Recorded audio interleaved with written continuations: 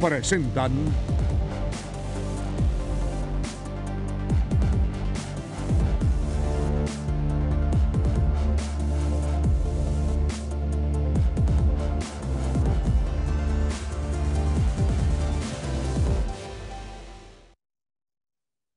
Viajando voy, yo por mi pueblo, que me dibujen sus paisajes, sentimientos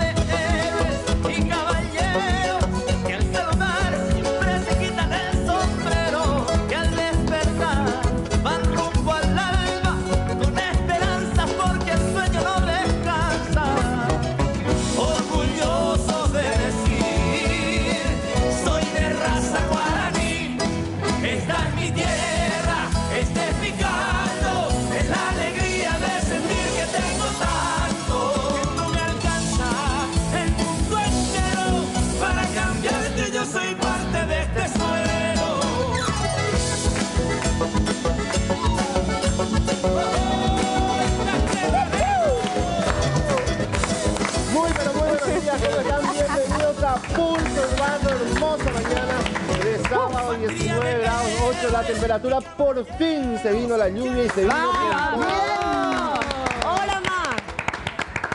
¿Qué pasó? Hola, Maya. ¿eh? Hola, ma. Agradecido el pasto, el árbol, las flores, todos están agradecidos. Y al parecer va por unos días la lluvia, ¿verdad? Sí. Mañana, mañana también hay pronóstico de lluvia, aparentemente hay una alerta meteorológica, Sol. Exactamente. Bueno, buenos días a todos. Qué lindo estar en casa de nuevo. ¡Eh! A unos cuantos. Traidora. No, No. a unos cuantos que no Sí. voy a mencionar. Sí. Que Sí. me enteré que lo, Sí. lo que dijeron. ¿Sí? Sí, el compañero de al lado No, también. yo no Sí, voy a decir sí, nada. sí. Yo Ya le dimos de baja. No, yo tengo infiltrados acá que me comentan todo lo que está pasando. Después vamos a debatir. Nosotros le apoyamos, sinceramente. La apoyó Mario La, Bracho la más que nada. antes era medio gordita. No, no, no, no. Está espectacular. Sí, sí. Mario, yo me enteré. no no, pues. no, no, no, nos vamos a pelear así de entrada, Hoy no ¿eh? guajea, No, no, después vamos a hablar seriamente. Sí. Pero yo sé que ustedes eh, tiraron la buena onda. No, realmente un beso gigante para Liz Pay, que ahora está por Colombia, nada más y nada menos disfrutando de sus Y vacaciones. parece Gracias que por eso hermano está por el aguante. No, señores, no, señores. Esta es, Sí, no, es mi Mario. casa. Ah, bueno, bueno. Así no. Esta es mi casa. Estuve reemplazando a la querida María estos días, así que también por eso el reemplazo de Liz, a quien mando un beso enorme. Pero ahora sí, repasamos los datos del tiempo, cómo se va a presentar la jornada de hoy y también la jornada de mañana, según la Dirección de Meteorología. Compartimos en placa estos datos para que obviamente lo tengas a mano. Ahí dice, ¿eh? jornada lluviosa, 19 grados 8 la temperatura actual, humedad del 96%, visibilidad 4000 ¿Qué es? Ahí está. Eh, vientos 20 kilómetros por hora. ¿Qué dice el pronóstico para mañana? El pronóstico extendido también según meteorología. Bueno, cielo cálido a caluroso, mayormente nublado. Hoy, vientos del noreste. Precipitaciones y sí, ya estaba previsto estas tormentas eléctricas que se hicieron sentir desde la madrugada. Una mínima de 22 grados y una máxima de 29. Qué calor también se va a sentir. Se va a mantener el calorcito. Para mañana las mismas condiciones climáticas, cálido a caluroso, cielo mayormente nublado, precipitaciones dispersas. Atención con la mínima de 21 grados y una máxima muy elevada de 32 grados. ¿Viste? No viene al final nada de frío. ¿Qué onda? Lunes, cálido a caluroso, cielo parcialmente nublado. Uno tenía la expectativa de que iba a descender, Sí. no. Una mínima de 22 para el lunes y una máxima de 34 grados. Ya no se presentarían precipitaciones según lo que prevé meteorología, pero bueno, en instantes vamos a estar repasando también esta alerta meteorológica que se extiende para algunos departamentos del país. ¿Qué es lo que de anexo traen las gotas de lluvia, el agua? ¿Qué es lo que de anexo trae? ¿Qué trae? El Dengue, de dengue, Ah, hay que cuidarse con ese tema. Sí, hay que cuidarse. Bueno, muy buenos días a todos. Sábado 5 de mayo, jornada sabatina lluviosa. Para muchos alegría, para muchos otra vez de vuelta, como dice Mario, empezamos a ver el tema y la recomendación. 12 casos de chikungunya, hay todavía casos de dengue, algunos paralizados, lo que sea, pero bueno, esta lluvia vuelven otra vez a tomar el, digamos, las precauciones correspondientes y a empezar a limpiar. Pasa un poquitito esto y hay que empezar a mirar Pues sí, dónde están los igual, lugares también mucho los charcos. Programa 213. Así que, felicidades, repasamos ya los títulos en tapa de los diarios, Rolando. Comenzamos por última hora que trae en tapa hoy sábado 5 de mayo del 2018. Información o título principal para la justicia. No fue urgente hallar al hermano de Cartes. Extradición llegó el jueves al mediodía. Fiscal no urgió acciones. Jueza tuvo acceso al requerimiento a la tarde, pero derivó decisión. Recién ayer otro juez actuó. Tras series de demoras, ayer se libró orden de detención de Darío Messer. Más abajo, lo que decía Carlos recién, cuidado, ya son 13 lo- las personas afectadas por chikungunya. ¿eh? Va creciendo esta cifra, En Pedro Juan Caballero. principalmente. Sí. Otro título, IRP, a UIP no satisface respuesta del fisco y analiza acciones legales. Vamos bajando, elecciones generales. Central, Alianza tuvo más votos en presidencia, pero ganó el número 2. Banca 45 del Senado será para el PDP, según titular del TSJE. Diputados, Hagamos y PEM con dos escaños y, ¿Cuánto Pat- entra así PDP? y Si entra Patequería con 45. uno. ¿Dos? ¿Dos? PDP, dos. PDP, dos. y el o sea, en el Santa Cruz. borde, ¿y quién es el que no entra del Colorado entonces? Eh, Friedman. Sí. Ah, mira, pues el que estaba en el borde entre entrado o no entraba. Sí. Bueno, al Le final sacaron al fuera. final. Sacaron. Al comienzo dijeron que incluso había posibilidad que Clary entre, pero al final no entró tampoco. ¿Has No, visto que no, se peló no. con Desiree ahí por Twitter? ¿En serio? Sí. Por- Porque quería entrar. ¿Y qué tiene que decir? no, y ahí un, un cruce ahí, porque Sí. decía, pues tiró un tuit así bien picante, ¿verdad? Ah. Que en horas más alguien va a perder un escaño en Senado, puso. y ahí se armó la podrida. Bueno, más abajo gastarán millones para mudar torres asentadas en campos de Acosta Ñu. Y también está ya tema deportivo en la tapa Kian. Sí, Guaraní frenó al expreso, dice aquí abajo. Faltó el gol, el gol. Olimpia no pudo con el aborigen en Ciudad del Este y empató a cero por el apertura, aunque continúa cómodo en la cima de la tabla con 37 puntos. Y también en la contratapa, la noticia deportiva que hace referencia a Sí, Guaraní. otra vez al mismo partido, el aborigen trabó a Olimpia, el clásico mazañejo no tuvo ganador, el choque finalizó sin goles en el este, el decano mantiene su invicto en el campeonato y sigue firme como líder, 37 puntos tiene el decano. Y Cerro Porteño que juega mañana, tiene 25, mucho, mucho todavía le falta. Pasamos a lo que trae la Nación.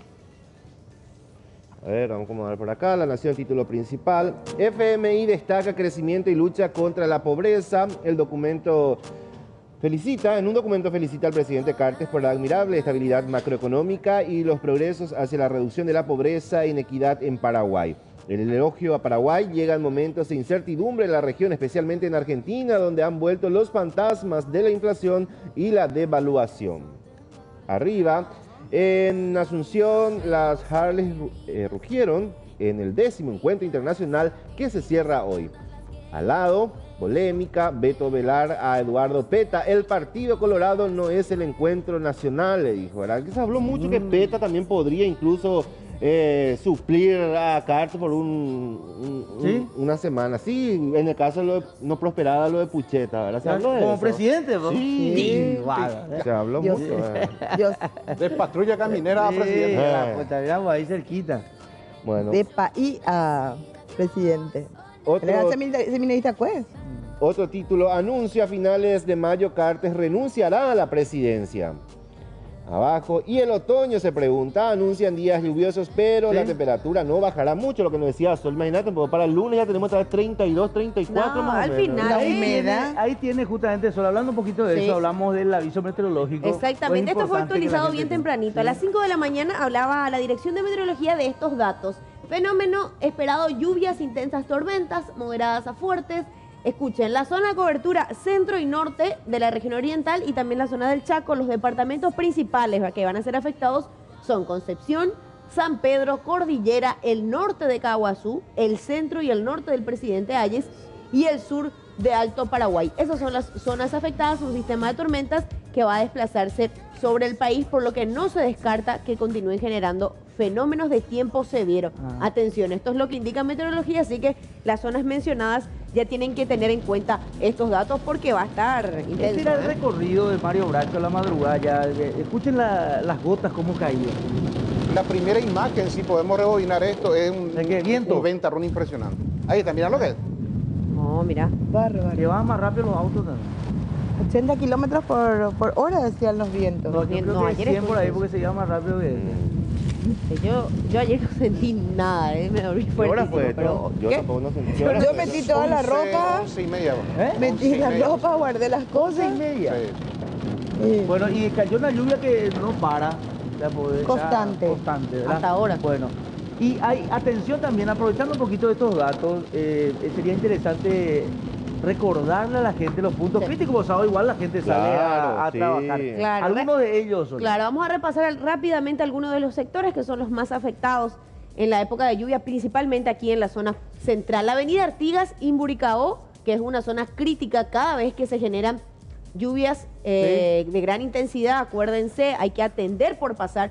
El tema es que no hay tampoco muchas opciones alternativas, eso es lo complicado. Pero eh, Artigas, Imburicao, uno de los puntos. Hablamos también de una zona que se presenta conflictiva, por decir así, cada vez que llueve, es la avenida Eusebio Ayala y Boyani. Sí. Ahí la Terrible. ubicación para... No, ese, ese lugar es realmente terrible. histórico. Hablamos de Fernando de la Mora y Bartolomé. Ese es el más crítico. Sí, eso Sí. también estoy de acuerdo. Bartolomé de las Casas, ahí ningún colectivo lo pasa. Es complicado. Después vamos a estar repasando más sectores para y a tener, cuidado. en cuenta. Seguimos con los títulos. Otro tema, ambiente de optimismo, marca inicio de la Expo Santa Rita, tema que trae la Nación también en tapa y por supuesto... ¿Cuándo empieza? Hoy, hoy, Sí. ¿verdad? Tenemos contacto también.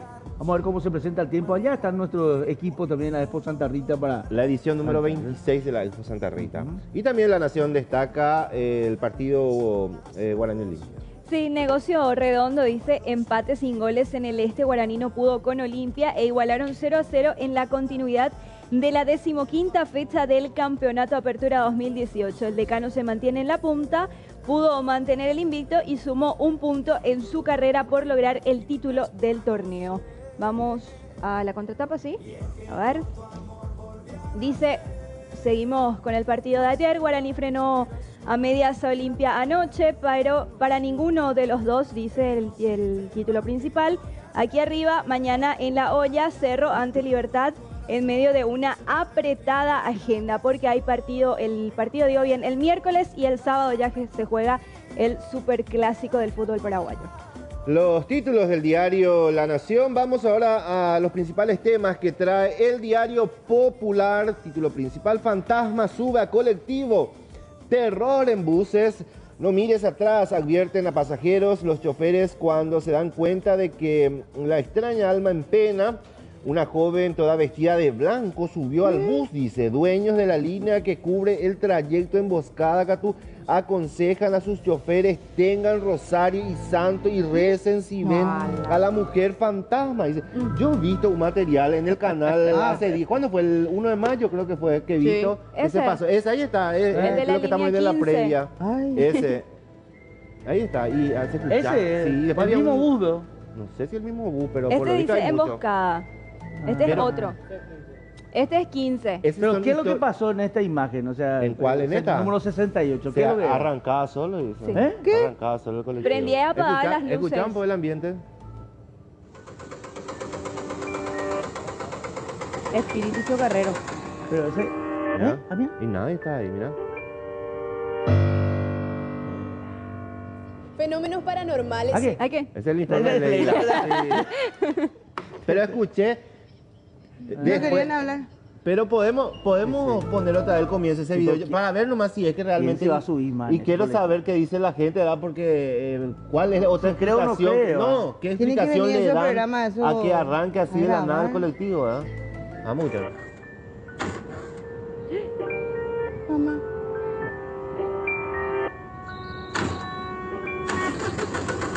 No, no, no. No, serio da miedo.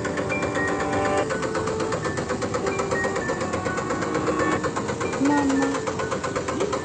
Yo no voy a estar grabando, yo salí corriendo antes de que empiece. Mira, No, no, no, está interesante. Sí, 0986 30 31 00 No, para que la este es el gente segundo no- caso, no, este- explicación. Este es Este el segundo caso que yo escucho. es En investigación de montaje. delito, un vehículo no. se llevó a la, a la depósito de fiscalía porque hacía lo mismo. Vamos, ya no ¿Qué puede ser? La No. línea Ese con un 15. destornillador, un Sí, mecánico sí. ahí abajo puede No. hacer. ¿Sí? Ah, No, claro que- claro que el sí. de la Sí. Con un destornillador, 15. eh, abajo vos ponés el El automático. chofer Brr, trr. murió, sí, en Ah, serio. Eso Ah, no, el chofer. ¿Sabes Pero qué? ¿y qué es la, mujer? Lo que vamos a terminar es que no se va que soy nadie en esa línea.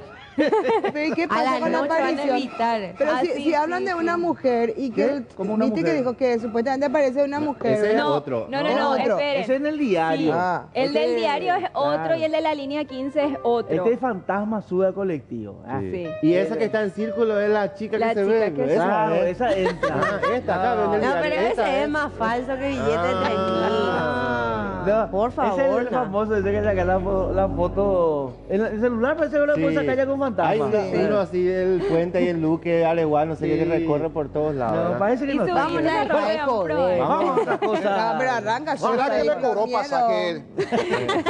No, fantasma. Puede ser. Otro tema. Pasaje eh, diferencial. eh, quiero saber, en serio, quiero saber qué piensa la Sí. gente. Así lo que dice Mario Bracho, Si que hay alguien pudo, sí, abajo, ahí con un Pero- destornillador. Yo no, arrancar. yo no digo que esto no haya ocurrido, pero sí se puede eh, tratar de hacer arrancar desde abajo eh, con un destornillador, con el automático. Pero, Pero ese ese- no tiene en el frente la nariz, no tiene el motor. Sí, el ómnibus, este, este atrás. graba. O sea, no se escucha nada, no hay ni un relato de nadie ahí, ¿no? No, no hay No, ese relato. no. No. Ah. Pero a mí me extraña, ¿verdad? Eh, Ay, sí. ¿Vos, vos sabés que puede ser que sea un ruido de atrás también. mm, No, pero ahí se, la luz, se ¿no? enciende y se apagan las luces. Pues. se apagan las luces. Y eso no se se puede haber enchufado nomás.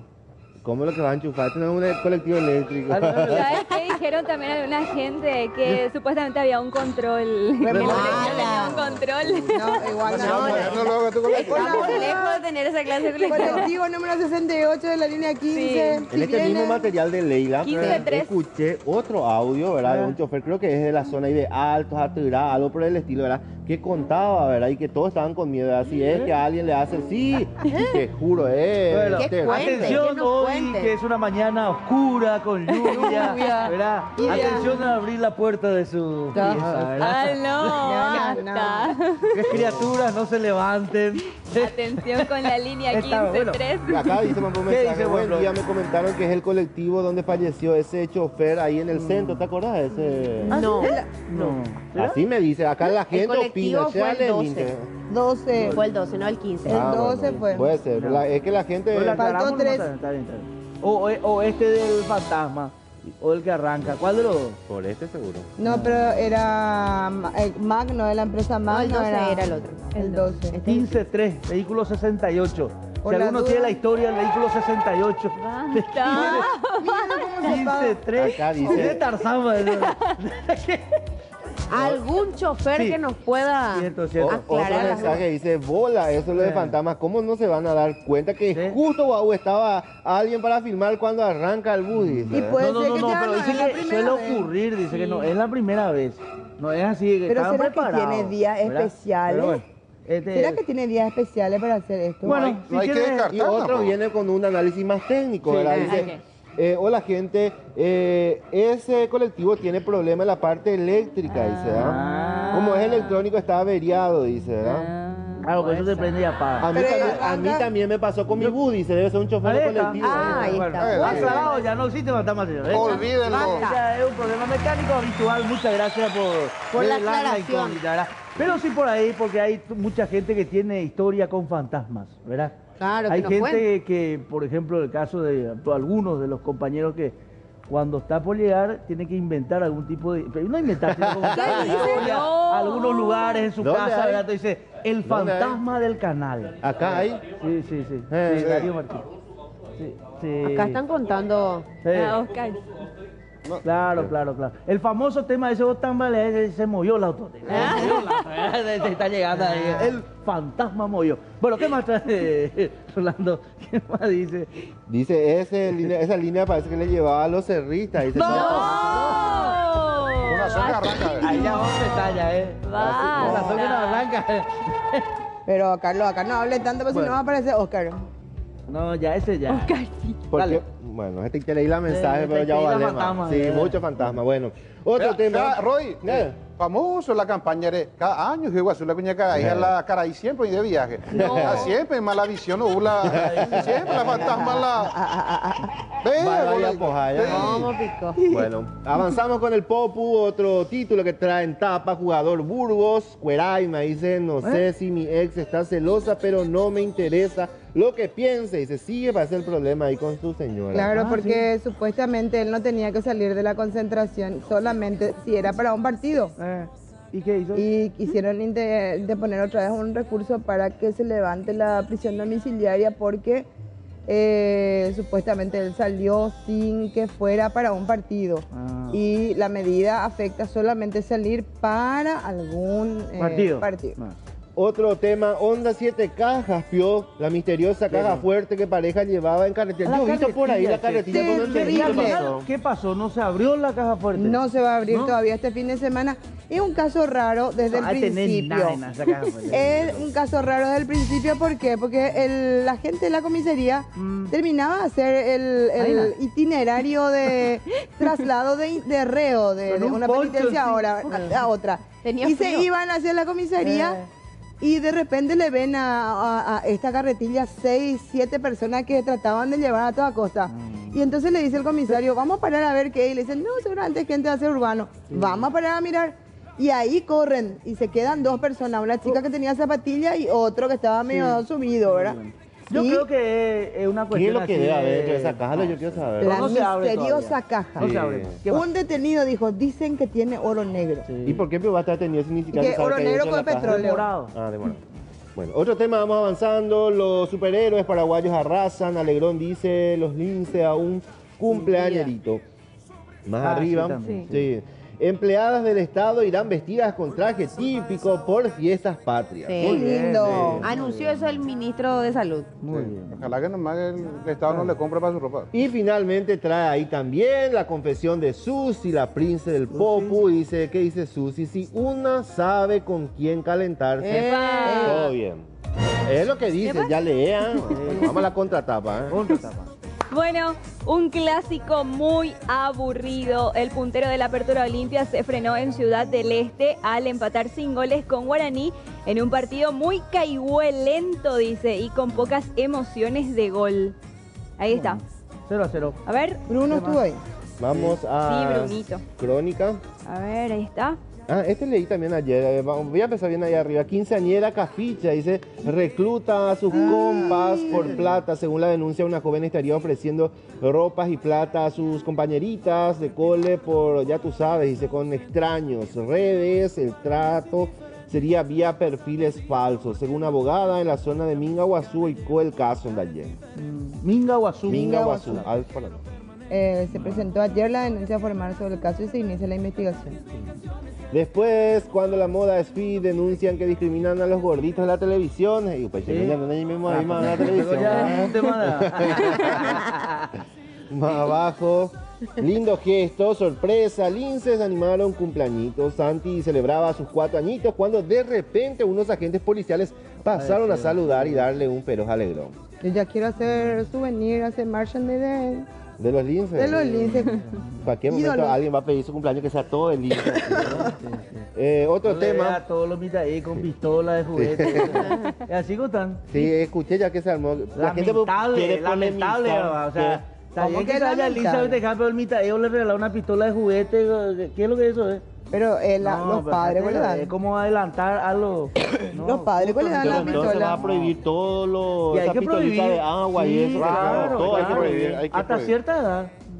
Hasta cierta edad. Pero los padres, ¿Cuántos en- años en no manos de los padres están los padres con Pero la lince también, ¿para qué se da lince ahí con a todo Pero está armado? bien, ese es el acercamiento de la policía, pero tiene que la ser- humanización Lo primero que decirle, no, no, no, sáquele el arma de juguete, por favor. No puede. Y no sabe ¿Verdad? si le dijo. Sí, Y tiene él ahí. trayendo a colación esto, te, te quiero mostrar, no, no, no sé si Julia podés poner oferta en Facebook, ya que tiene relación con esto, Mm. a lo que podemos llegar con nuestra juventud. Si está por ahí, yo creo que Ahí debe- está, debe ahí estar por ahí. Cuatro Sí. años, pobre. Bueno, violenta, tú sí. Ah, no está tan. Bueno, después. Eh, A joven- esto sí, Sí. ahí se subió la moto. Sí. Eso es lindo. eso Sí, muy lindo. Sí. Le dio un no abrazo y va así que se subió sin casco. ¿ah? Ojalá no, que no sea como nuestro Superman y se vaya y se caigan ahí ahora. De... Sí. Otro tema, joven lustra botas, beca completa, historia de Silas, tuvo lindo final. Qué lindo. Ayer he visto a la ministra, a- un comentario rápido nomás, a la, a la ministra de la Juventud, eh, justamente haciendo la entrega de la beca. Y tuiteó eso ella. Y a mí Qué me parece bueno. genial, vea, de donde venga lo Fantástico. importante es que este chico tenga beca. Y Claro. sabe que la gente empezó a polemizar la foto que estaba detrás cuando le entregaron Claro, la... ¿quién era? y la No foto del presidente, una institución Ah. pública, pues está todas las fotos de los Claro. presidentes siempre. Y es la gente pues, tiene que encontrar y ponerle siempre para Pero, la y está bien, hijo, durante su gobierno, digo, está la cuestión. no, yo te digo, Alguien que reconocer. a mí lo más resaltante es que este chico tenga hoy una beca, bien, ¿verdad? A mí me parece bien. A mí me, parece eh, bien. que con su edad no esté en tontería y que lo- esté haciendo lo Una justo beca para completa trabajar. para decirle y viendo la historia de él que es extraordinaria. Lo que es la iniciativa de un efectivo policial que no sé ni su nombre, Carlos, hasta ahora, que me envió el material, el video. Ahí lo ubicamos y empezó la historia, pero yo creo que hay tantos héroes que bien se pueden destacar, ¿verdad? Sí, es sí, cuestión de que mismo. nos alerten acerca de esos Quiere casos. salir adelante. Ese, eh, ¿Cuánto vemos que están limpiando para Ah, en una comisaría le era, hoy se nota por el color. acá se nota que el, que el muchacho quiere salir adelante. ¿verdad? Tiene la fortaleza. ¿Qué más? Bueno, vamos. ¿Qué vamos a pasó? tirar? Sí, A dale, vamos. Vamos a Qué tirarlo de la beca. linda historia. Al- el- lo que decía la. Ahí está. la Ahí ministra, está el ¿verdad? tweet. Ahí está, ahí está. sí. Mira. Ah, y por esa foto. Bien por, Por, ella esa también, foto, ¿eh? sí, imagínate, po- porque... Ese de ah, abajo pidió un gato.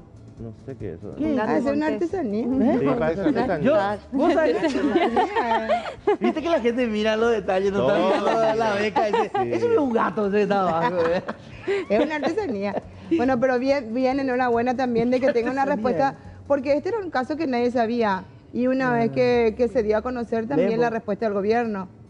Dice, a los ocho años, Silas ¿Eh? trabajaba Ah. como lustrabotas, ahí me acerco, Sí. para poder comprar algo en el recreo. Y a los 18 continúa trabajando motivado con pagar su universidad. Hoy se enteró que va a recibir su beca completa de su universidad y la Secretaría Nacional de la Juventud. Ejemplo de superación, me saco el sombrero, dice la... ¿Qué estudia él? Algo que, eh, ciencias políticas. Algo que a mí me impactó eh, eh, en, en la entrevista fue, primero el abrazo cuando nos encontramos, eh, porque en cierta forma sentí admiración por, nuestra, por nuestro programa y nos envió un saludo. O sea, era algo que le debíamos la visita. ¿verdad? Pero me decía, yo no puedo, Mario, portarme mal porque tengo una colita. Y hacía referencia a sus hermanitos, a su mamá, a su papá. O sea, él eh, se hace responsable del hogar. Claro, él es la cabeza de, de hogar sí. prácticamente siendo tan joven. Bueno, extraordinario, esta es una historia positivísima, ¿verdad? Y, y sobre todo hay que, eh, da gusto eh, resaltar y alabar también gestiones como el caso de la, de la ministra también, porque eh, el mirar un poquito esto y el hacer algo por ellos, a lo mejor no necesitan mucho y uno va a decir en el montón, ¿por qué no le da todo, no le da, verdad? Claro, porque decía Pero, la gente, ahí los otros lustrabotas. Claro, hay historias. No, y yo te no, y cuento, María, así yo empecé a leer y eso, Sí. te, imagínate, vos polemizan por esa foto que se ve detrás, ¿cuál es lo que es lo importante? que No le vas a dar gusto a todos, será hacer lo que podéis y hacer con la mejor intención. Pero es lo miremos, miremos lo positivo de esto y tiene su beca, tiene su universidad, va a ser un gran, eh, si estudia ciencias políticas también al menos enfocado a, a mejorar algo del país. Creo que mirando cómo empieza uno puede decir, bueno, va a sentir lo que es tratar de transformar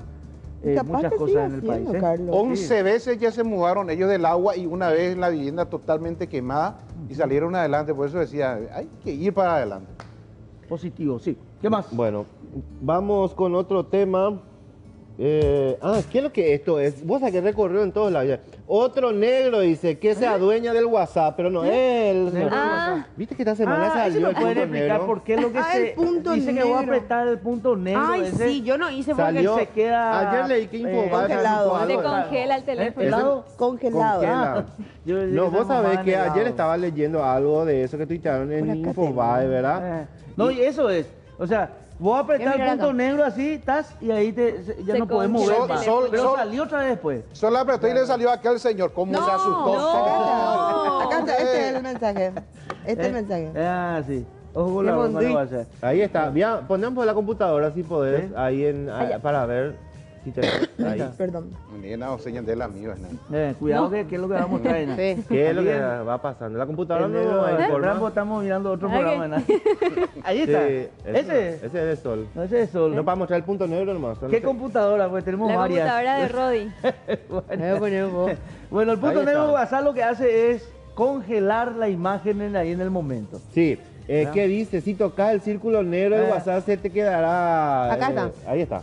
¿De qué se trata el misterioso círculo negro? Acá está, ¿ves? Sí, sí, sí. Acá sí, van sí. a ver. Ahí, ahí, ahí. ahí dice, está. es un mensaje viral, dice, si tocas el círculo negro se, que, se te queda, bueno, en, en, Pillado. en español, eh, Sí. pillado. sé. Así se lee en el mensaje. Dice, al presionar, pero ¿qué dice? La Don't única forma... Hay una explicación ahí. La única, y si no logra hacer, bastará con reiniciar. Ahí se ve el código detrás del mensaje que seguramente es este. Se trata de una broma que se hizo muy popular en los últimos días. Eh, no sería un virus, sino apenas un engaño para trabajar el sistema. El bloqueo ocurre porque detrás del texto, eh, no tocar, se oculta un código, que es este que está acá, con miles de caracteres que el sistema no logra procesar y ahí se cuelga. Ah, así que se Ah, cuelga. revelado el Se- misterio. Se ¿no? cuelga. Sí. Famoso tema. No es que se congele nada, sino que se cuelga. Se cuelga. sí, sí, sí. No, pero viste que te dicen, no, después te La sale el mensaje, no toques se porque se cuelga. te congela, te ponen, ¿verdad? Te envían el mensaje y te dice... Y vos ahí lo que toques, le toca, Y ahí lo que le toca. que no. No toque, Eh, no. ahí, no, ahí. no toque. Espectacu- ¿Para qué le espectacular decís cuando, va a cerco? cuando mi hija está a punto de reventar mi saldo, le digo, Bueno, ¿qué más? Completamos. Por último, Sí. eh, la milagrosa aparición de la Virgencita. ¿Dónde otra vez? Eh, dice sorpresa, un joven y su abuela se tomaron una emotiva foto, pero lo increíble fue que le pillaron, o sea, lo que pillaron después, ¿verdad? Imagen, en el fondo aparece la Virgen de Cacupé. Dice, quiero ver dónde esto es, ¿verdad? Vamos a Ah, ver, sí, a cuatro, cinco, acá. Esto aparece en tapa del diario Crónica. Sí, en Caguazú fue. Caguazú. Flotaba en la ventana, dice. En Caguazú. Sí, sí, sí. Bueno. Eso pasó en Caguazú. Ahí la Bueno. imagen de la Virgencita. Después Claro, van a decir así que hay problemas técnicos, mecánicos también, ¿verdad? Sí, no, pues son creencias también. Puede ser una calcomanía también que... Con un reflejo de luz. Un reflejo ¿no? Sí, Todo puede ser. Pero siempre son señales. Claro. La gente lo que busca son señales. Sí. ¿Verdad? Entonces, siguen las señales. Bueno, vamos a la contratapa de Crónica. De la mano de Julio, dice polémica. No, Cáceres. Polémica, Cáceres admitió que el tiro de Camacho rozó su mano, pero agregó que era penal. una jugada rápida, penal, y no encontró la señal, dice Olimpia. Ah, no, Bueno, no perdón, a ver, 0 a 0 terminó este partido. Vamos acá arriba, sí, torneo apertura, otro empate Caigüe entre Luqueño e Independiente. 1 a 1 terminó este partido el día de ayer también. Vos sabés que impres- parece ¿Qué que la gente se prendió Sí, así, no, eh, cuando están lees- todos viendo. Cuando lees los mensajes... Así. a- acá a mano tengo, ¿verdad? Arroyo y Estero no están viendo. ¿Qué La- dice? eh, Arroyo y Estero, hola, buenos días, está lindo el programa. Y compañía Isla Guazú tomando mate y viendo el programa como todos los sábados. Otro decía, estaba en Veamos su... porque ya no estamos hablando Eh. más de la mano de Julio. Sí. No, ya, ya, Ahí pues ya estamos leyendo mensajes, sí. Eh, otro, Freddy también nos envió de Santaní, dice que está en su granja y está Eh. viendo pulso urbano. En su granja. En su una granja, ¿verdad? una granja dice. Envíe huevo. ¿Qué tiene Sí. pollito? Eh, No, Ita- pollito. No, pollito. Itagua, kilómetro 28, dice Vicente y Julia, están viendo también el programa. Después, otro más que veía por acá, eh, Barrero Isla Pucú, dice. Chipa. Isla Pucú. Sí, señor. Atención, en minutitos vamos a lanzar una, un hashtag. Enseguida. Ese ¿verdad? Que yo creo que se van a aprender mucho, pues vamos La a pedirle a la gente algunas cositas, sí, algunas La cosas gente creativas. ¿eh? creativa, se va a aprender. Bueno, seguimos con algunos mensajes más y vamos al repaso ya. Vamos al repaso. Bueno, vamos a hablar del tema panificados y atención porque con esta noticia arrancamos lastimosamente, pero panificados más caros. De acuerdo a la última información, el Centro de eh, Propietarios de Panadería y Fiderías del Paraguay anunció el aumento de un 5% en el precio de productos panificados y afines.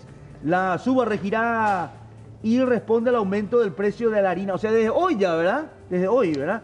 Ayer Hasta este una hora después. Ah, desde ayer, claro. Desde la suba rige desde ayer, Renato, y responde al aumento del precio de la harina. Hasta este viernes un kilogramo de panificado costaba 6.500 guaraníes, pero a partir de ayer el precio sería de 7.000 guaraníes.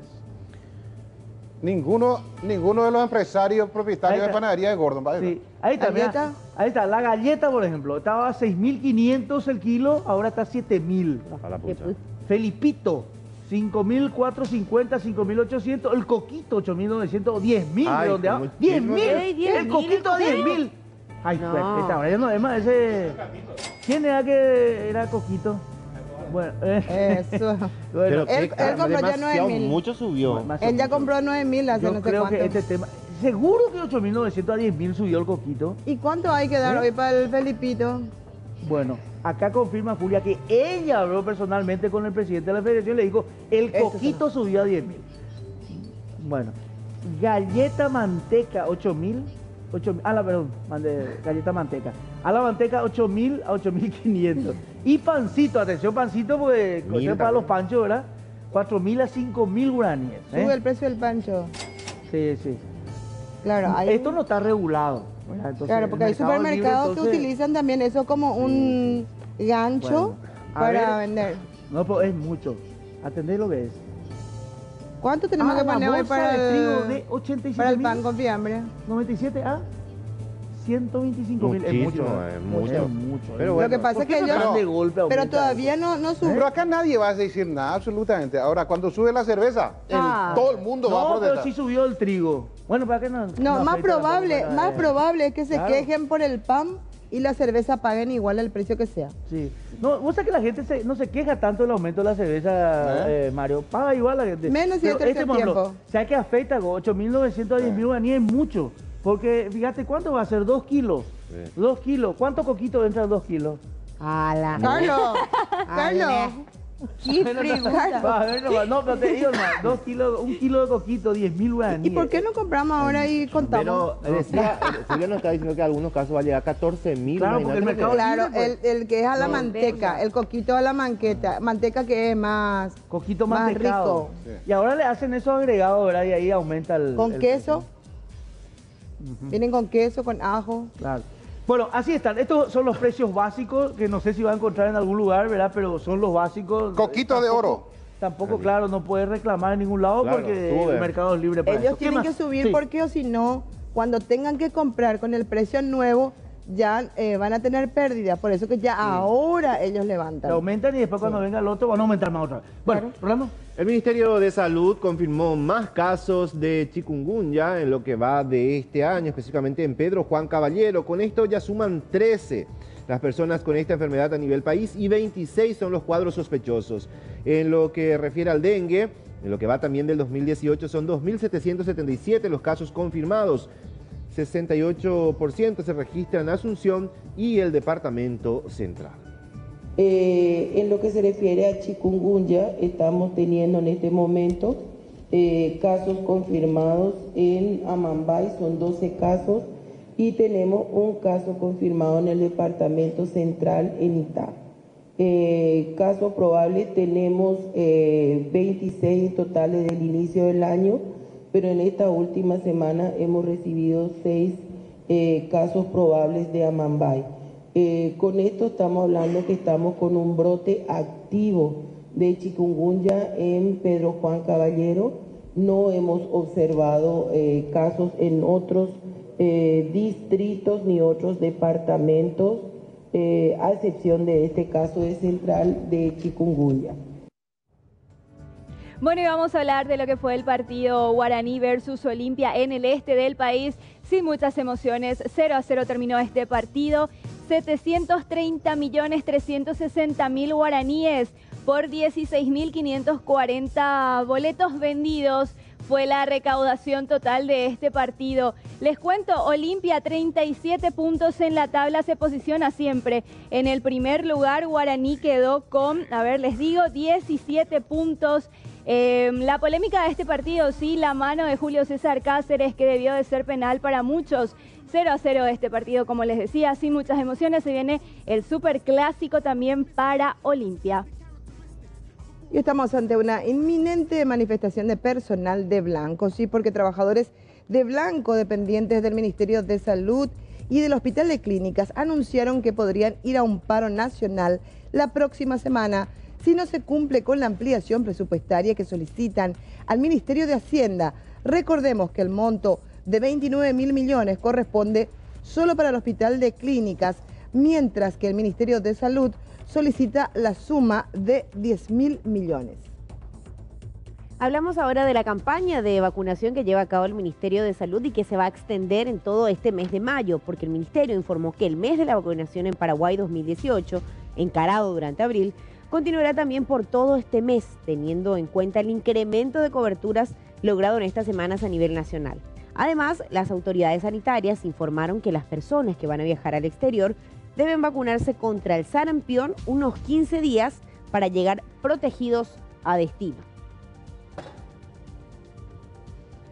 Bueno, y siguen los nombramientos a nivel de Marito Oroga sobre todo. Empiezan a salir los nombres y de acuerdo a lo último, Mario Aldo Benítez anunció que, que dará a conocer a los eh, miembros de su futuro gabinete cada 15 días. O sea que hay que estar atento cada 15 días. Y no descartó que el próximo sea el de una mujer.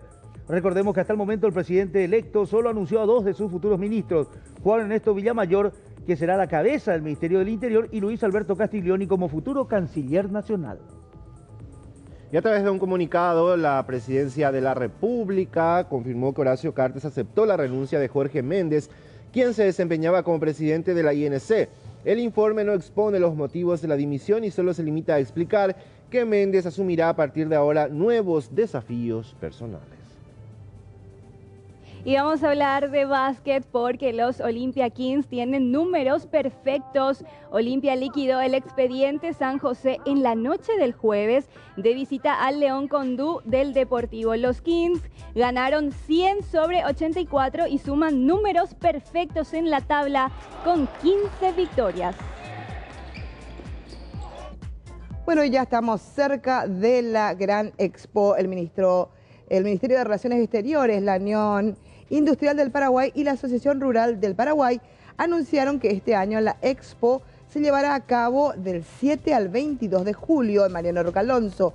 Destacaron a la actividad como una oportunidad para atraer inversionistas y hombres de negocios que apuestan al desarrollo económico del país. Hablamos ahora de la fecha 14, 14 de mayo, porque recuerdan las autoridades que sí, se va a llevar a cabo y se va a disfrutar del feriado, porque ante las dudas el Poder Ejecutivo aclaró que está en vigencia la Ley 4531 que reincorpora el 14 de mayo como día feriado, junto al día 15 del mismo mes para la celebración de la independencia patria. Además, afirmaron que ambos días no son trasladados a otras jornadas, tal como sí ocurren con ciertos feriados para potenciar el turismo interno. Bueno, y comienza a sentirse en Encarnación eh, mucho tumulto alrededor de lo que se genera en el tema de la investigación del incendio de la ciudad de, Encarna de la municipalidad de Encarnación, recuerdo. Momentos de tensión. ¿Ahí se escucha? Él tiene que estar con un Sí. No, señor, señor. Espere un ratito, por favor, a usted le voy a explicar algo. Por favor, usted no es la persona que va a autorizar la entrada. de-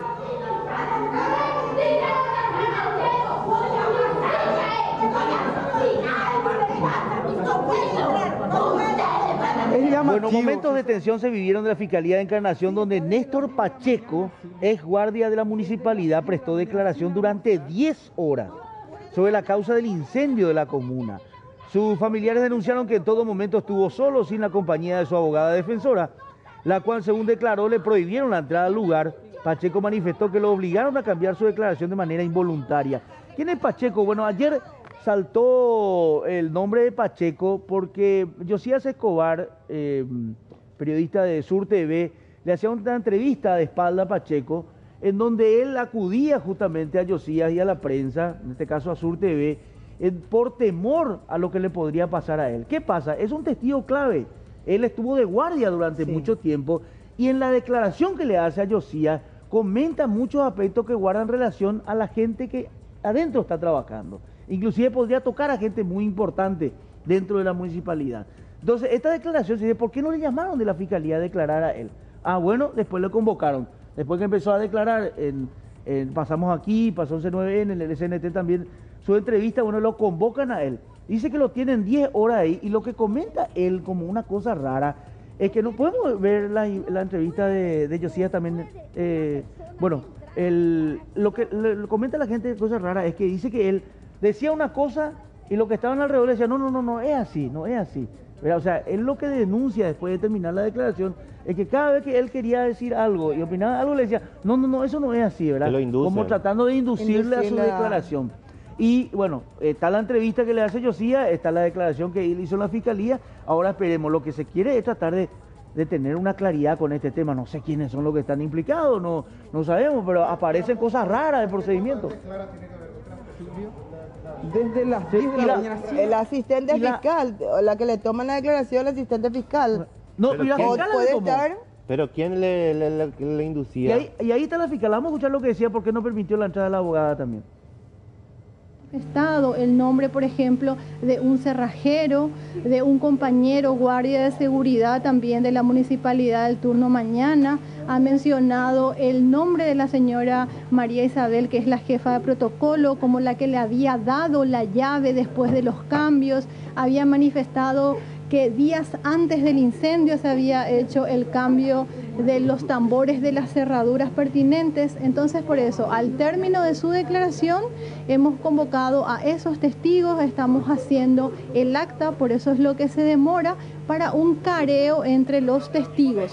Está presente y pueden tomar las filmaciones de las personas y la señora María Isabel, por ejemplo, le ha desmentido y le ha dicho que ella jamás le ha entregado a esta persona llave alguna del municipio y que sí se hicieron las llaves respectivas, pero el año pasado. Y ellos acá, de aquí ahora me van a esposar de acá y me van a sacar ahora sí. Ahí él está confirmando. ¿Qué más quiere la prensa?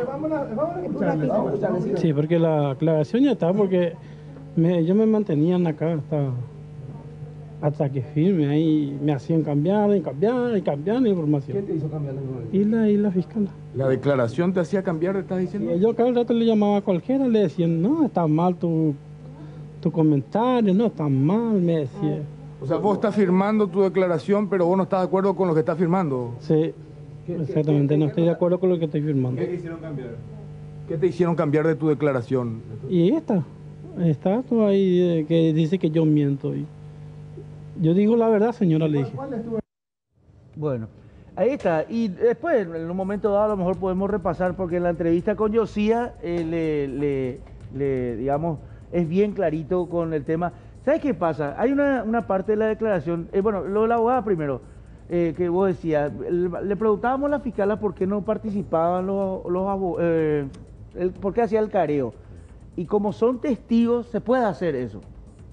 Sí, ¿Verdad? pero si vos pedís la presencia Sí. de tu abogado, Ahora, el no permitir la presencia del abogado es una atribución o no de la fiscalía. no, no. Vos tenés tu Eh, derecho a que esté presente un abogado en cualquier eh, situación eh, jurídica. Mm. Vos podés pedir la asistencia porque él te puede decir, ah, no, acá ya vos no hables. Mucha gente duda del, del procedimiento, aunque la fiscala explica que, por qué hizo el careo ¿Cómo- cómo se correspondiente en ese esto? momento. Porque lo que ella dice ahí es que él estaba ahí, era testigo y ella llamó a otros para hacer el careo. ¿Qué es lo que se presenta en un momento dado?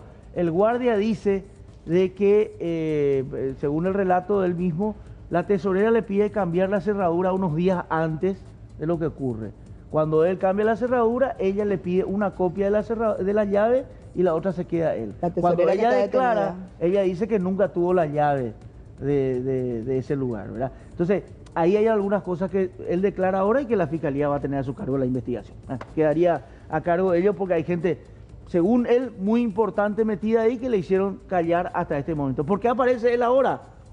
Él dice que porque tiene miedo, ¿verdad? Y Él era el guardia que se fue a hacer la ronda, ¿verdad?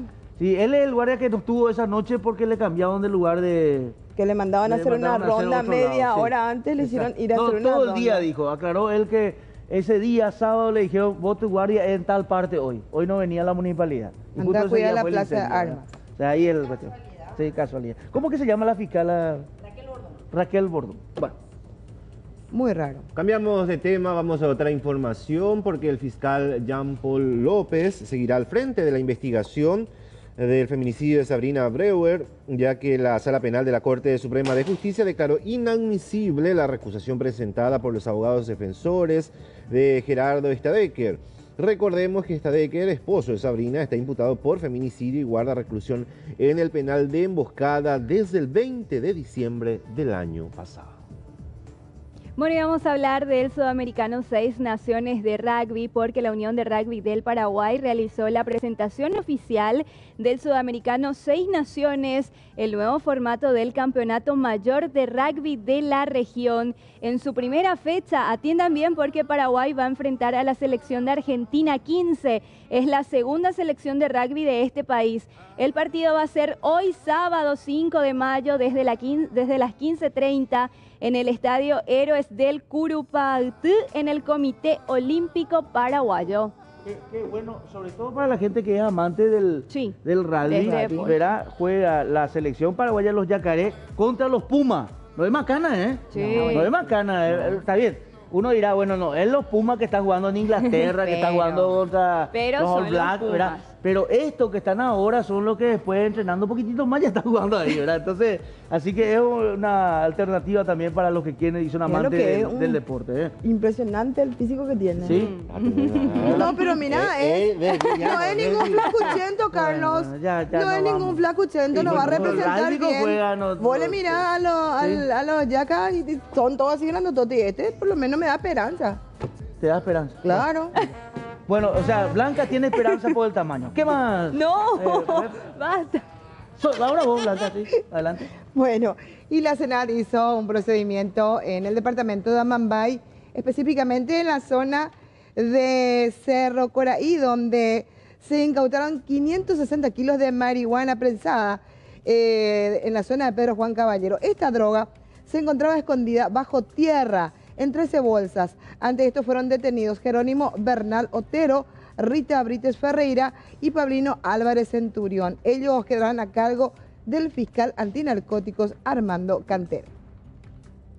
Hablemos ahora de la inflación que nos dejó el mes de abril y si nos dejó realmente o no, porque según las informaciones, el Banco Central del Paraguay informó que la inflación del mes de abril, medida por la variación del índice de precios al consumidor, fue del 0%, es decir, que con este resultado, la inflación acumulada en el año asciende al 1,1% por debajo del 2% verificado en el mismo periodo del año 2017. Bueno, adelantamos algunos temas ya con Mario. Mario, eh, el problema del agua. El primero, en No, varios lugares, ¿eh? en este caso en el barrio Palomar. Imágenes de apoyo, por favor, para ir observando un poquitito qué es lo que teníamos esta, en la noche de ayer realmente. No un avance nada más, sí, pobladores del barrio Palomar de Asunción, desde hace más de un año sufren la escasez del vital líquido y la respuesta de la ESAP no satisfacen. Se habla de que un edificio que había sido construido en las inmediaciones estaría mm, incidiendo en esta situación eh, y la respuesta es de hace años. Bueno, en segundito ya. Vamos eh, a comentarles todo esto que tiene que ver con la falta de agua. ¿Hay algunos mensajes No, rápidos? les- leía un mensaje que dejé pendiente hace rato. Buenos días. Dice, mientras el coquito, viste, la Eh, gente eso, empieza a hablar ay, el coquito, la harina, ese la hace está todo. caro el coquito, ¿eh? está caro. Después.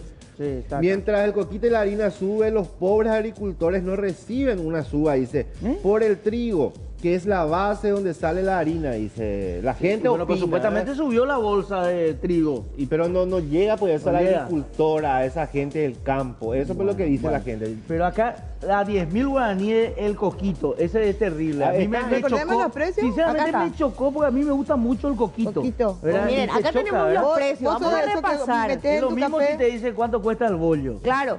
Eh, que- bueno, Bueno, La galleta. eso le- Eso le- se llama autoflagelación. Sa- ¿Sabes quién? Carlos, mira, ¿sabe quién está viendo el programa? ¿Quién está viendo? Ah, la abuela Agustina, viuda de Vera, 95 años de Benjamín Aceval. Muy bien. Y hoy está cumpliendo un año más de vida. bravo. ¿Qué Oh, señor. Eh, sí, hablamos de los precios Ah, acá. rápidamente. Sí, sí, sí, hay que recordar esto. Exactamente. Galletas de 6.500 pasó a 7.000 500 guaraníes. Guaraníes. 500 galletas ¿Con anís cuartel. o sin anís? Esto ya está vigente, ¿eh? Este ya está, este es el común. Este El- tiene anís eh, un 500 más. Bueno. 500 guaraníes ahí. La... Felipito, escuchá, de 5.450 a 800 guaraníes. Ahí Está bien, está bien. 350. Más o menos, 5.800, ahí está bien. 5.800. Coquito, este es lo que... No, esto es una que- vergüenza, esto es una 8.900 a 10.000 guaraníes, 1100. no. Esto es una censura de los Mucho, es amantes del 1100 es coquito. mucho. Sí. Galleta manteca de 8.000 a 8.500. A Bueno, 500 500 guaraníes guaraníes. te perdono. Ahora, pancitos de Este tipo de 4.000. galleta ya viene con manteca, así 5.000. vos desayunás ya manteca. No, tiene me- mejor Ah. sabor, tiene, porque No, le sabe ponen más manteca. El otro tiene grasa nomás. Ese que le pintan con manteca y ahí te ponen la galleta. Es una gran diferencia. Bueno. Ahora, ¿quién No, va a bueno, romper el no, coquito en el, nuestro el tema, el tema para mí y el Y último el- número, el pancito. pancito. Pancito no de dijiste. 4.000, sí dije. Dijiste, Cuatro mil a De cinco- 4.000 a 5.000. Mil guaraníes. No. Y el pancho ahí sube, imagínate el pancho que comen los chicos en el vos, Son colegio. 10 panchos. No, mande, No, pero es más ¿Qué, qué pasa con los viernes de pancho, el los pancheros ahora no metas su pancho. ¿Cuánto está razón. William? Terminás tu barra y te Con razón, ayer ya lo comí.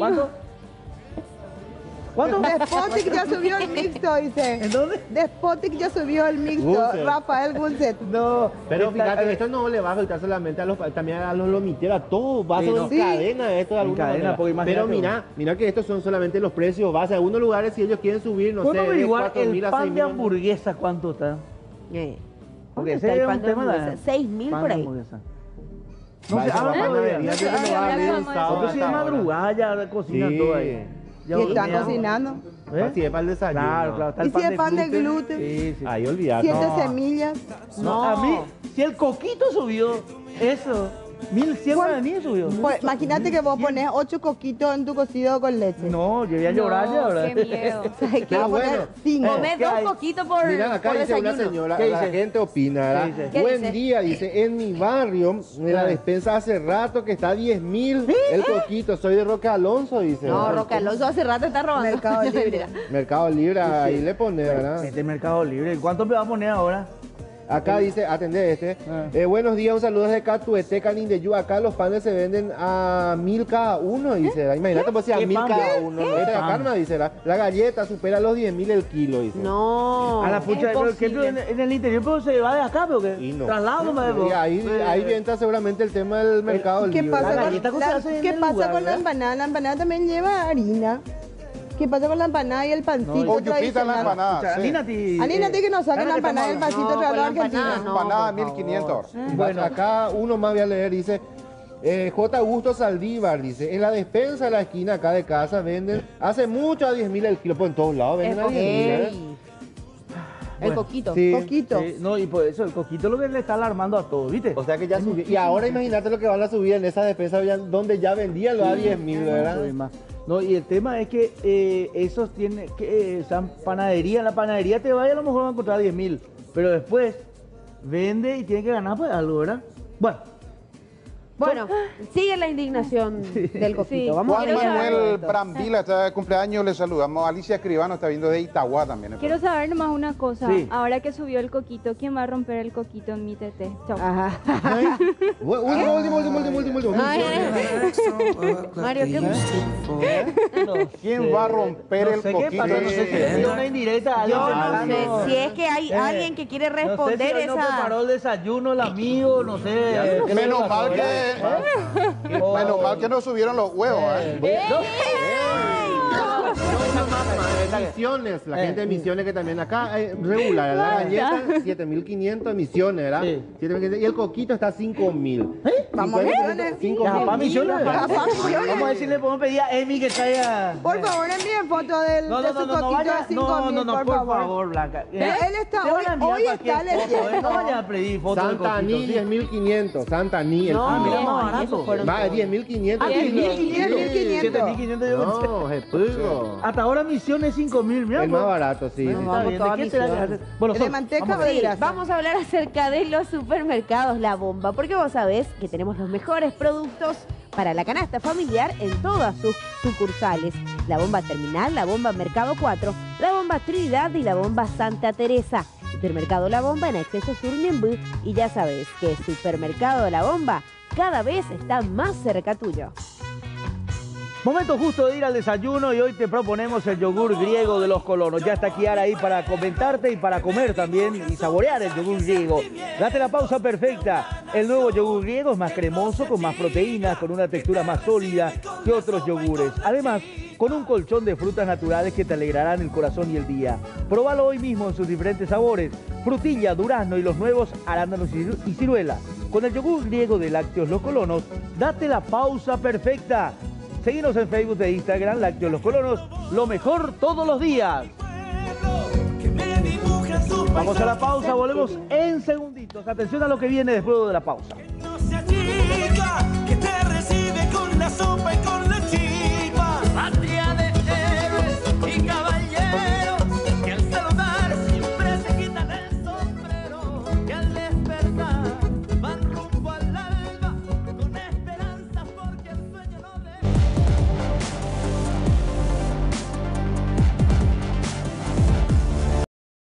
Bueno, pobladores del barrio Palomar de Asunción de hace más de un año están con este problema del agua. Eh, hablamos con ellos, compartimos con ellos esta situación.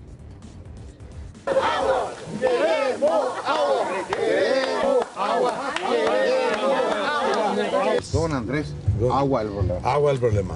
Hace un año que no tenemos agua suficiente.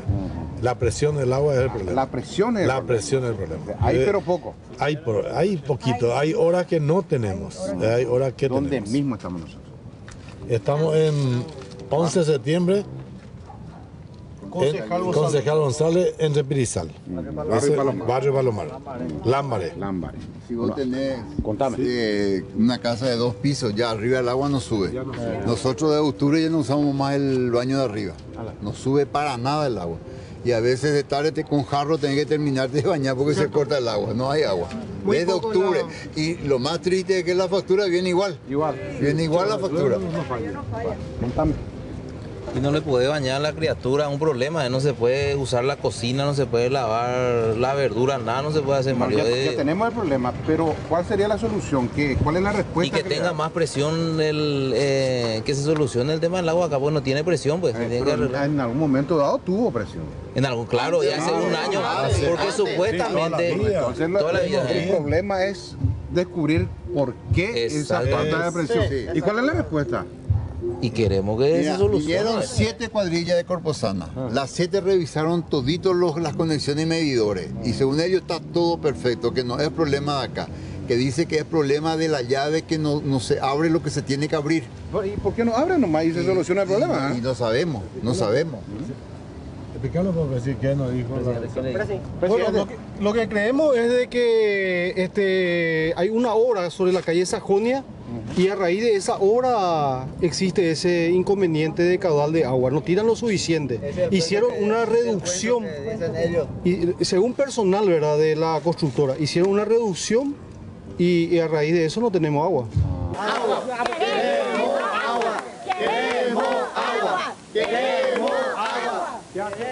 Bueno, Bañado Sur, eh, Caballero y 37 Puchitá aproximadamente, entre Antequera, toda esa zona, le tenían hambre a Toto I. ¿Quién es Toto I? Había apuñalado a dos personas antes. Eh, hay un video que nos enviaron, lo que motivó que nosotros vayésemos ahí también, eh, cerca de medianoche. Todo esto se registraba cuando eh, los vecinos querían linchar a Toto I. En cierta forma lo consiguieron, fue eh, defendido por policías. Es la primera parte. ¿Cómo se come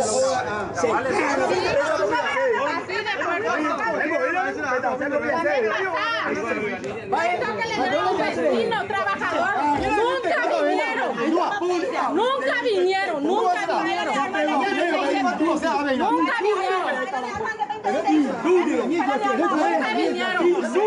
Ahora, ¿qué van a hacer? ¿Por qué se quieren hacer?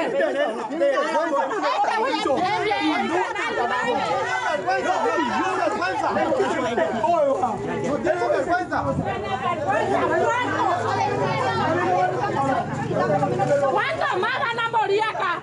Inocentes, corneros que son. Roban Diego cancha de guau o a zozobra le tiene a todo el barrio. Mario, joven. Derecho ahí a la vuelta. eh. Bueno, A la vuelta. ¿Eh? Mati. No, sí, pero hay dos cámaras, hay dos cámaras. Cada rote, coño, no va a yo.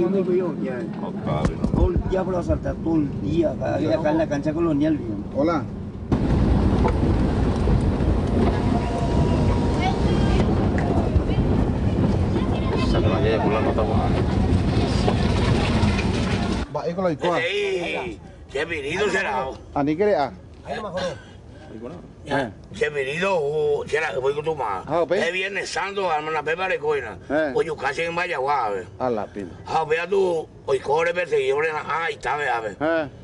Hago, haga. O será, un colegio, me estoy con tu, a ver. La pico ahí la jera. Ah, oye, igual, Ronaldo, la verdad que tengo ahí en la Perú, Iguri. Ah. O la policía, cada vez ya nació la policía, o Ahora, pagarle yo la policía. güey. O paga. O pues, yo, yo. O pues, Comisaría 21. Siempre. Cojan mira, te voy a decir una cosa, Mario. Nosotros renunciamos a la fiscalía Eh. hace 15 días. Vos sabés que el fiscal ni nadie, un carajo nos hace. hermano. Eh. Va, sí con Terera, don. Yo pa, me llamo Gilberto González Reyes, hermano.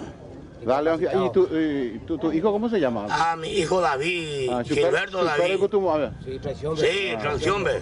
Con- y estaba acompañado de su papá. Su papá tú comenzó a tirarnos piedras. Mm. Dale, don. Gracias.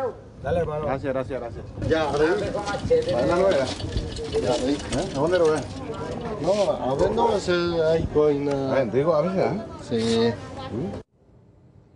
Bueno, eh, finalmente y nos dijeron esta madrugada, cerca de las 4 aproximadamente, que Toto, y está en la comisaría 21. Ah, le detuvieron. Sí, le detuvieron, pero eh, justamente para protegerlo a los vecinos que le querían linchar y le golpearon bastante, es que lo tenían escondido. Bueno, eh, fuego, Gendry decía en un momento, hay fuego en el bañado. ¿Por qué? Porque hay una familia que se dedica a recepcionar todo tipo de basuras y, y tenemos un video, en realidad dos videos. No, ya que me vienen a tomar agua por filmar cómo queman basura, como por la noche y me tiran piedra también. Eh, voy a denunciar eso nomás ya también. No me alcanzas con tu manguera. Todas las noches queman acá cantidades de basura. Todas las noches. Y ahora me tiraron piedras, me acertaron esa vez. Em, y nosotros los vecinos, todos estamos cansados de respirar ese humo diariamente porque es tóxico. Con. Ahí te ven buena, ¿no? Posible que lo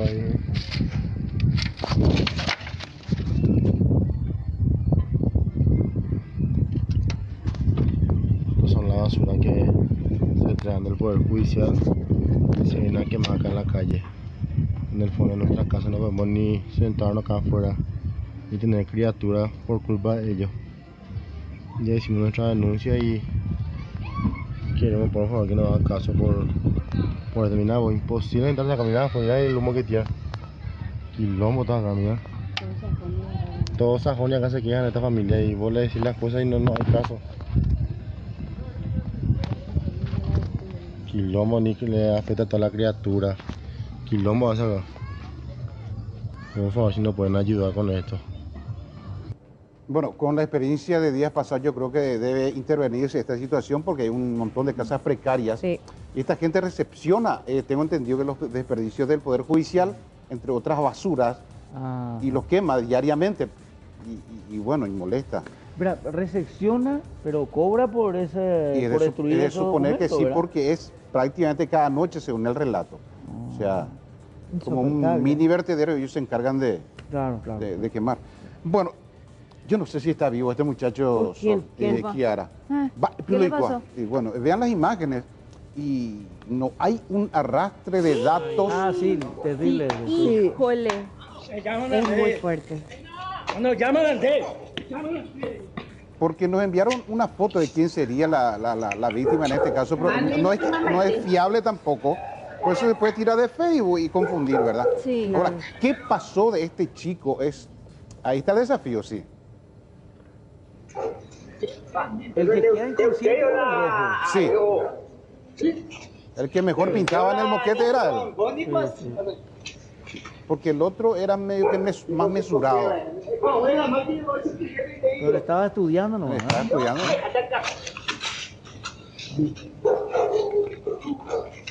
Pero tenía que ver una pelea por el tema de droga, ¿por qué? No se sabe nada. Bien tumbo. Me llaman Andrés. No, terrible. No, llaman Andrés. Bueno, no se sabe, no se sabe si está con vida, qué pasa. Ayer en un momento dado se decía que perdió la vida, pero después apareció una fotografía que recorrió, esa fotografía se dice ahí no se le ve con ningún golpe. Entonces la gente dice, bueno, no, no es él, ¿verdad? Pero terrible, terrible. Hablamos pues. nosotros con la gente de la comisaría séptima, que son los que recepcionan los casos de, de homicidio en emergencias médicas. Y en horas de la tarde, por lo menos hasta las 18 horas, no había ningún reporte. Supuestamente esto ocurría a las 15 horas. También hablamos con la gente del barrio Ricardo Brugada, eh, eh, porque supuestamente, perdón, a las, 3, a las 15, hor- 15 horas realmente. Y ellos nos decían, no tenemos ningún reporte de persona fallecida, ni de víctima de pelea, ni nada. Y se averiguó y no se tuvo ningún. Dice que era un tal eh, Ti- Julio y Toto y algo así. Y ahí está la remera que tiene él también de que podía Claro, ser, ¿verdad? el- evidentemente es, eh, se, se trataría él porque nos envían la foto. Lo que no se sabe es si ella es posterior a, a lo que pasó o es antes, ¿verdad? Eh, eso es lo que. Pero hasta ahora no hay información ni se busca a ver si alguien tiene algún algún dato sobre él, sobre todo cuando se empieza a viralizar esta, esta pelea, ¿verdad? Vos sabés que es que está mostrando Mario, ¿verdad? Y quiero aprovechar nomás. Y quiero mostrar otra cosa que a mí me impactó muchísimo, porque es una persona a quien conozco realmente, que resultó víctima. Y justamente hablando de ese tipo de, de situaciones, ¿verdad? Esta semana empezó a salir por todos lados. Mira, voy a, voy a pasar otra el video.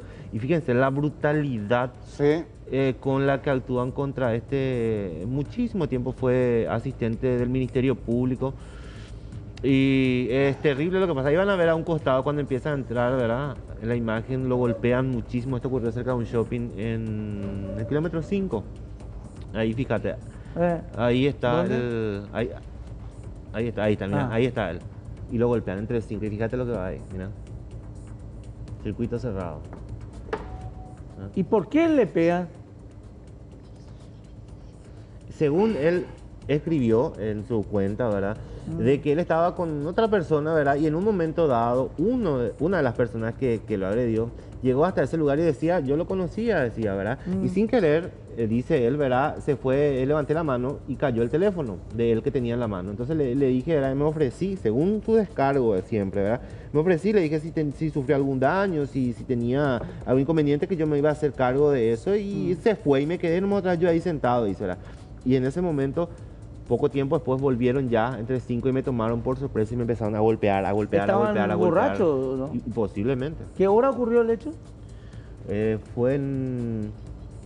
Sí, pero no, ¿qué- pero fue en horas de la... eh, ¿Madrugada? Sí, madrugada, ya cerca de la una más o menos.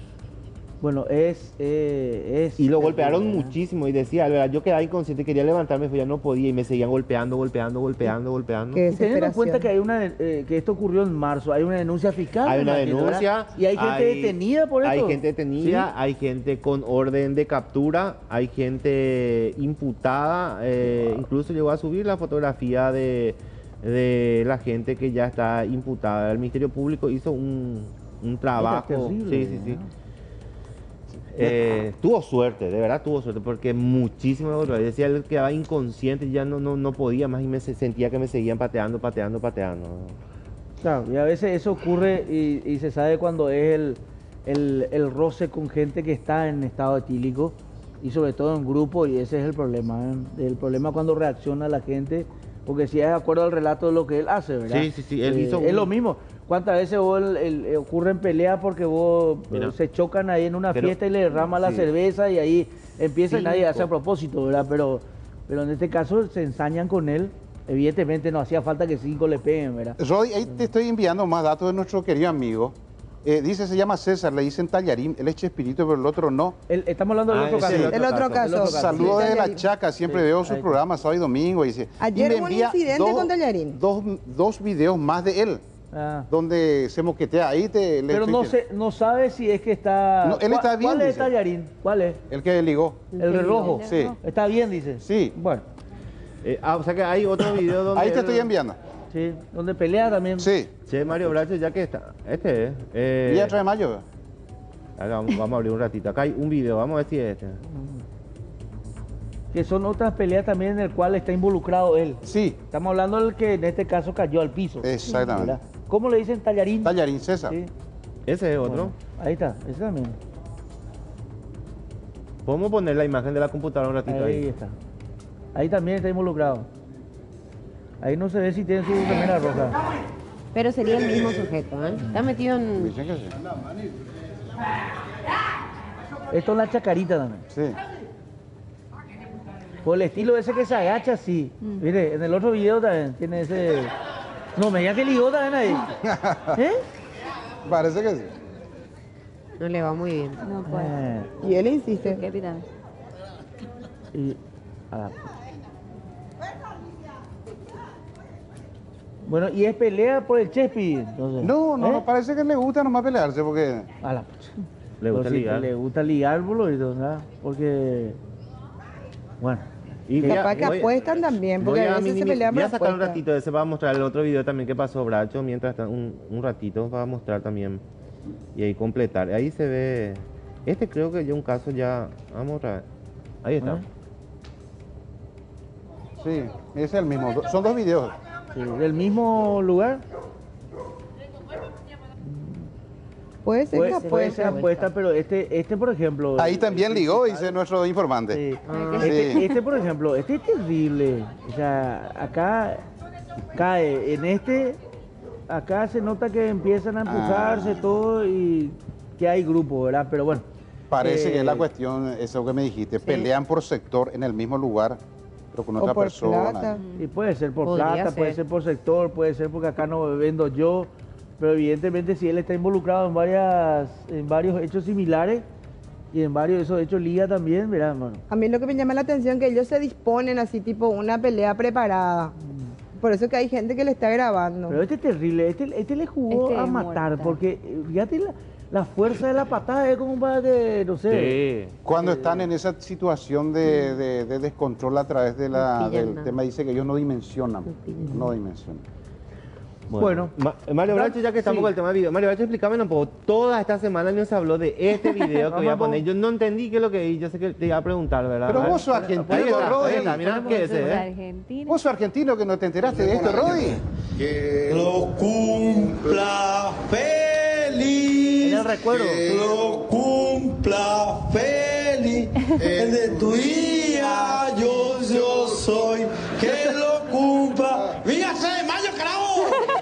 3 de mayo, carajo! ¿Eh? 3 3 de mayo, ¿viste el 3 de mayo pasado? eh? Claro, pensó que le decía sí. hacerlo porteño, güey. No. No, era para su mamá. Ese es un video épico de, de, de las noches de Mario Bracho. Y esta semana fue tendencia porque decían, hoy es el único día que podés darle Sí, RT sí, sí. a este. Y era el 3 de mayo pasado. Entonces la gente estaba, Sí, Un 3 de saludo, mayo. un saludo a él. ¿Dónde está él? Y debe estar por Mariano Roque Alonso, Sí, ahí lo claro. habíamos ubicado. Pero eh, por más eh, risa que pueda promover, la intención de él era saludar a su mamá. Saludar. Él quería saludar. Y después le saludó a todo el mundo vez. Bueno, bueno, ahí eh, simplemente para dar un repaso nomás, hay algunos Sí. que están A ya paraguayos. nuestro- ¿eh? Es paraguayo. ¿Qué Sí. es paraguayo? Bueno, dice el tereré, la chipa, el meyú, el chicharote y todo es. Soyo, el termo forrado es paraguayo, dicen, ¿eh? Este dice. Termo forrado. Natalia Duarte dice, la payaguá mascada. Falta nomás que digan los argentinos algo nunca visto. Carne de perro masticada. ¡Ay, dicen. no! bueno, eh, bueno, y aquí hay unos cuantos más comentarios que estaba viendo entre las menciones. El meyú con cocido no es gina omelette de almidón con té de hierba, dice acá, eh, FB Cáceres. La hora paraguaya, eso también nos caracteriza. Lo incopiable es el sándwich de empanada Ay, sí. o Ah, sanguinada. eh, ¿cómo Eso es? es, paraguayo. El... ¿Cómo? ¿Cómo es antes del tereré? Ahí Claro, es el paraguayo. Es ¿eh? paraguayo. Ahí denos ideas, denos Un comentarios, vamos a estar con leyendo. mandioca antes del tereré. Ah, tererupá, muy bien. ¿Qué? Colesterol No, eso om- ya. Bueno, Mario, ¿qué más? Porque quería mostrar esto nada más que a veces en Facebook uno se, se espanta de cómo eh, se puede publicar este tipo de cosas, ¿verdad? Hay una reacción bastante importante respecto a esto que vamos a mostrar de un joven, ¿verdad? Eh, fíjense, no estoy viendo bien acá, ahí dice, está a nombre de Víctor Encina. Víctor Encina, Sí. con esto, por ejemplo. En su eh, perfil. En su perfil, ¿verdad? Después eh, hace ofrecimientos de, de- de cambio. Eh, te daré 300 kilos por tu vehículo, capo. Dice. Entonces dice Tamara, flor de microtraficantes aceptantes, se ve que sos, solo al ver tu perfil, dice. Y haciéndole un seguimiento a este tipo de cosas, de repente uno puede llegar a... Porque todo es violencia, todo es eh, drogas, todo es eh, cuestiones ilícitas. Y que, es triste es que verá que gente tan joven metida ya en esto, ¿verdad? Y así, a mu- muchos casos se siguieron de esto y terminaron cayendo Sí, también un sí, montón de Sí, gente. hace poco justamente el crimen organizado había hecho un operativo sobre eso. Así es, y es todo lo que tenemos en materia de aporte noticioso. Bueno, gracias, gracias. Nos preparamos para el top 6, Sí, ¿verdad? me- El top le six. recomiendo, le recomiendo. nada más, ¿eh? Bueno, y atención, que seguimos con el dilema de los coquitos, Sí. o del coquito sobre todo, y el costo. Acá Y- hay gente, un ratito nada Sí. más, Carlos. Hay gente que quiere ayudarle a, a A Kiara, Kiara en con el su Twitter, coquito. con el tema del Bueno, coquito. Eh. Sí, tenemos varios mensajes. Ahí está. de- ¿Ese cuánto está? Intocable. Bueno, eh, mira lo que es. No sé si cada vez está más arriba porque nos vamos a alcanzar más los precios de esos panes. ¿verdad? Porque Jorge Escurra, ¿qué tal, Jorgito? ¿Cómo estás? Buen día. Buen día, Carlos, Blanca, Rolando, a todos los compañeros en piso, a toda la teleaudiencia del Sistema Nacional de Televisión. Estamos recorriendo el mercado 4 de Asunción, que va a cumplir 76 años el próximo 7 de mayo. Y bueno, dando seguimiento al caso de la suba de Sí. los precios, tanto de los. Yo pensé que había una manifestación ahí, Jorge. ¿Viste que No, está estamos Tito sobre la parado ahí, calle, verdad? la avenida Perú. Eh, yo pensé que había una manifestación, son todos los maniquíes bueno, ahora seguimos con los pandales. Sí, sí, sí. Y bueno, estamos en una conocida panadería aquí en la zona del. Mercado 4. Ok. Eh, sí, que, que mudó de local. Hablamos del señor Tomás Acosta, quien nos recibió para hablarnos acerca de, Los este- de costos, esta los situación costos. que los costos por sobre todo, ¿verdad?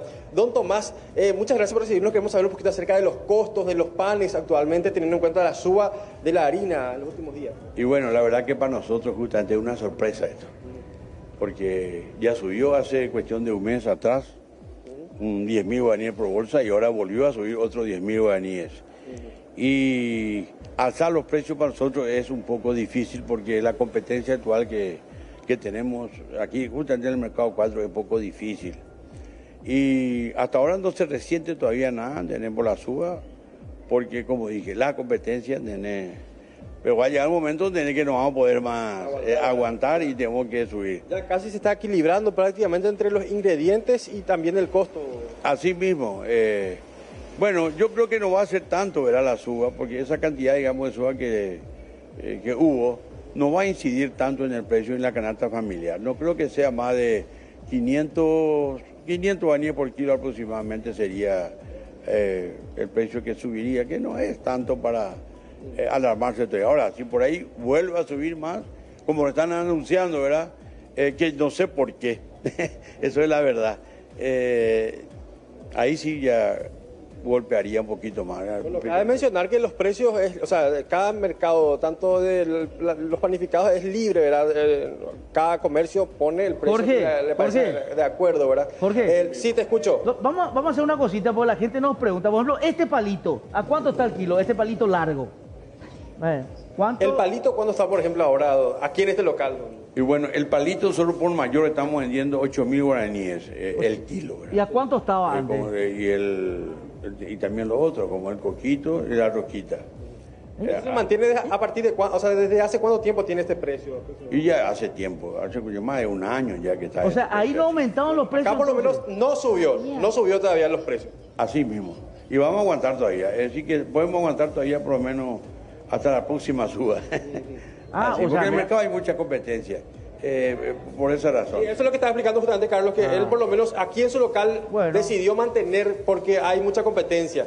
Ok, entonces él no aumenta sus precios entonces. Y pero, ¿a No minorista aumenta, así cuánto es? A minorista, a ver si tipo, vas a comprar medio A- kilo. al, al minorista, por ejemplo, el palito, ¿cuánto está? ¿Cuánto- ¿Cuál es la diferencia? Y al mismo- 10 mil guaraníes el kilo. No, Eh, Ah, ahí está, ahí ya y ¿no? está la Entonces manteca. no debe mantener el Pero precio. entonces que subió Y lo- también. La galleta está a 6 mil guaraníes el kilo. El precio que mantiene, ¿hace cuánto tiempo que está con ese precio? Y hace más de un año aproximadamente. Ah, bueno, ella Y aumentó más también antes, podía ¿no? ser, ¿eh? Sí. Y bueno, el, el pan, por ejemplo, ¿cuánto está normalmente? Este pan normal, El, el pancito nosotros por mayor estamos vendiendo a 2.500 guaraníes el paquete de una docena. ¿Y por unidad? Y bueno, Por eso kilo. vendemos así por paquete. Por- por kilo. Por paquete. Y tenemos el, ¿La galleta? eh, la, la galleta de 5.000 guaraníes por mayor, ¿verdad? Y 6.000 guaraníes por kilo, ¿verdad? Eh, Jorge, pregúntale Ah, a- por minorista. En general, eh, Sí. Jorge, le puedes preguntar eh, por kilo. Cuando viste la gente, muchos no compran, va a comprar en el día a día. Claro. Tipo, compra medio kilo, un kilo, así. Vamos a preguntarle un poco Por así, al- kilo. Al, menos, sí, sí, sí, por kilo. Menos medio kilo, una familia de repente por día se compra. Sí, y el precio normalmente, o sea, la, la galleta está a 5 mil el kilo, me decís, ¿verdad? Eso, Ese precio por mayor. eh, Precio por mayor. y 6.000 Eh, está el eh, sin, sin anís. Y con anís que tiene un poquito más ingredientes y eso estamos yendo a 6.000 guaraníes. Mucha gente viene a comprar, por ejemplo, medio kilo también. si ya- No, desde mi guaraní estamos vendiendo de acuerdo a la posibilidad de cada cliente, ¿verdad? Eso no hay ningún problema. Ah, O sea que no hay diferencia. Ah, Por ejemplo, te dicen, quiero por mil guaraní o dos mil ¿Y el palito con le- te va- manteca? le das por esa cantidad. Y nos ingeniamos. ¿El palito con, con manteca cuánto está, don Tomás? Y tenemos un precio especial, por ejemplo, la rosquita a la manteca, manteca, ¿verdad? estamos vendiendo a 12 mil guaraníes el kilo. 12 mil guaraníes el kilo. Eh, la, la manteca. Y eso ya tenemos en- en- por paquete también. Por paquete también tenemos ahí en, en palito largo. Eso está a 4 mil guaraníes, 400 gramos. ¿eh? Ya embol- embolsado, así, listo para... Listo para llevar, así mismo. 4.400 Realmente gramos. está golpeando un poquito en realidad nosotros los panaderos, esto tiene por el costo, ¿verdad? Claro. pero por la competencia, sinceramente, salvaje que existe acá en el mercado, eh, tenemos que adaptarnos también a todo. eh, esa es la, real- la realidad de las cosas. 4.400 gramos, ¿entendí Eh, bien yo? Sí, cua- no, a 4.000 está cuatro- una, una bolsa de 400 gramos. Eso quiere decir que está a A 10.000. 12.000. A 10 A sacar los cálculos, a ver la billetera, a hacer, bueno, yo pienso que aquí también hay algunos que no van a llegar a un kilo, como dice, lo está diciendo el señor también, hay gente que está comprando por mil, ¿verdad? Por lo que tiene y va llevando también, ¿verdad? Porque también esa es una opción que se da por el costo que está teniendo. Gracias, Gorguito, gracias, muy amable. Bueno, recorriendo un poco la panadería también ahí, algunos te dicen, bueno, como son al por mayor, entonces sus precios son un poquito más bajos. Pero cuando es minorista, entonces llega a los, a los números de los cuales estamos hablando hoy también y el nuevo precio también. ¿eh? Bueno, así que esa es la situación que se plantea con el tema de la suba, que seguramente es raro, porque del Afecta, interior Carlos. dice, Sí, es más barato. 13, había visto uno que llegó de San Antonio, el último que ya no leía al aire me decía 13 mil, me dice San mío. Antonio, ¿verdad? Me estaba leyendo. No hay nada mejor que el, el Eh, palito con el, la- el picadillo, poner así, comer. Muchísimos mensajes. Bueno, que todos los mensajes que nosotros, nosotros, nosotros del súper hace rato traemos secos y de surtido a 12 mil el kilo, de, dice. Ojalá que eso no suba, dice, ¿verdad? En, eh, y hablan de diferencia también de despensa y de supermercado también. Todo más barato es en el mercado, dice, ¿verdad? Eh, En el mercado ayer traje el pan trincha a 2.000 guaraníes, dice. Pan trincha. Pan trincha. Ese que viene con seis bollos. Eh, que no sé con qué viene ese. Después... Seis partes nos van a decir. Así es. Dame un bollo de pan de, de- de mi casa, era así. ¿Cómo Ahí está. ¿Y eso? Ahí están los bollos, mira. ¿viste? Recursos humanos, Ah, gente. Ah, yo pensé Pero me confundí. ese Qué es musculoso. rico, ese- musculoso. ese es Pero tipo blanca, pan. un pan Musculoso. musculoso. Pero tipo el, el pan. Ese es un pan. El pan. Bueno, vamos a algunas informaciones, repasamos rápidamente algunas de ellas. El tema quema de pastizales. Ayer nuevamente fue el tema como información ante la sequía del último mes. Los bomberos voluntarios reportaron focos de incendio en varios puntos del país. El más considerable se registró al costado de la ruta Luque-San Bernardino, en la zona de humedales. Según el capitán Rubén Valdés, hace días se registraron llamas en Capibarú, Chacoí y áreas del departamento del Guairá y Misiones, por lo cual solicitan a la ciudadanía que eviten quemar todo tipo de basura en terrenos abiertos. Agentes de la Brigada Central capturaron al conductor del vehículo desde el cual se hicieron disparos hacia una estación de servicios. Este hecho ocurrió en Itagua y una persona resultó herida. El que apretó gatillo, identificado como Osvaldo González de 21 años, eh, sigue prófugo y está siendo buscado por tentativa de homicidio doloso.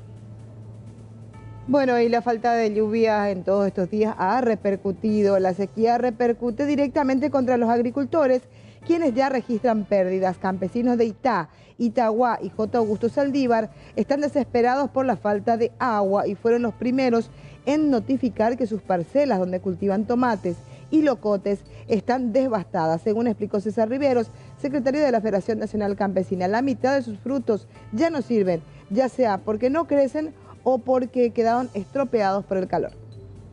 Marihuana en el Parque Nacional San Rafael. Agentes antinarcóticos de la Policía Nacional realizaron un procedimiento justamente en el Parque Nacional San Rafael, en el departamento Cazapá, donde constataron la existencia de 73 hectáreas de marihuana en etapa de cosecha, logrando desbaratar 13 campamentos de procesamiento de la droga e incautaron más de 20 mil kilos de marihuana picada. Todo esto fue destruido e incinerado. Y de acuerdo al informe del Ministerio de Obras Públicas y Comunicaciones, la continuación de la costanera será habilitada para la circulación de vehículos, esto en aproximadamente un mes. Recordemos que la habilitación ya sufrió dos postergaciones. Los proyectistas buscan acelerar la apertura a modo de aliviar el tráfico sobre la avenida Artigas hasta el inicio de la Traschaco, esto en la zona del Jardín Botánico. Bueno, y ediles van a pedir paro del Metrobús. Los frentistas afectados por las obras del Metrobús en Fernando de la Mora solicitaron que ediles de la comuna de esta ciudad emitan una resolución para frenar los trabajos en la zona. Los concejales fernandinos le dieron una respuesta favorable. Además, afirmaron que sus reclamos son genuinos porque el MOPC no cumplió con el compromiso de trabajar por el sector.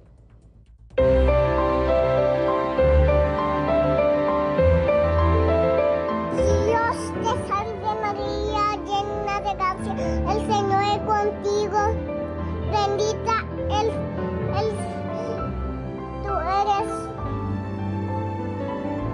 bendito es el fruto de tu bien Jesús.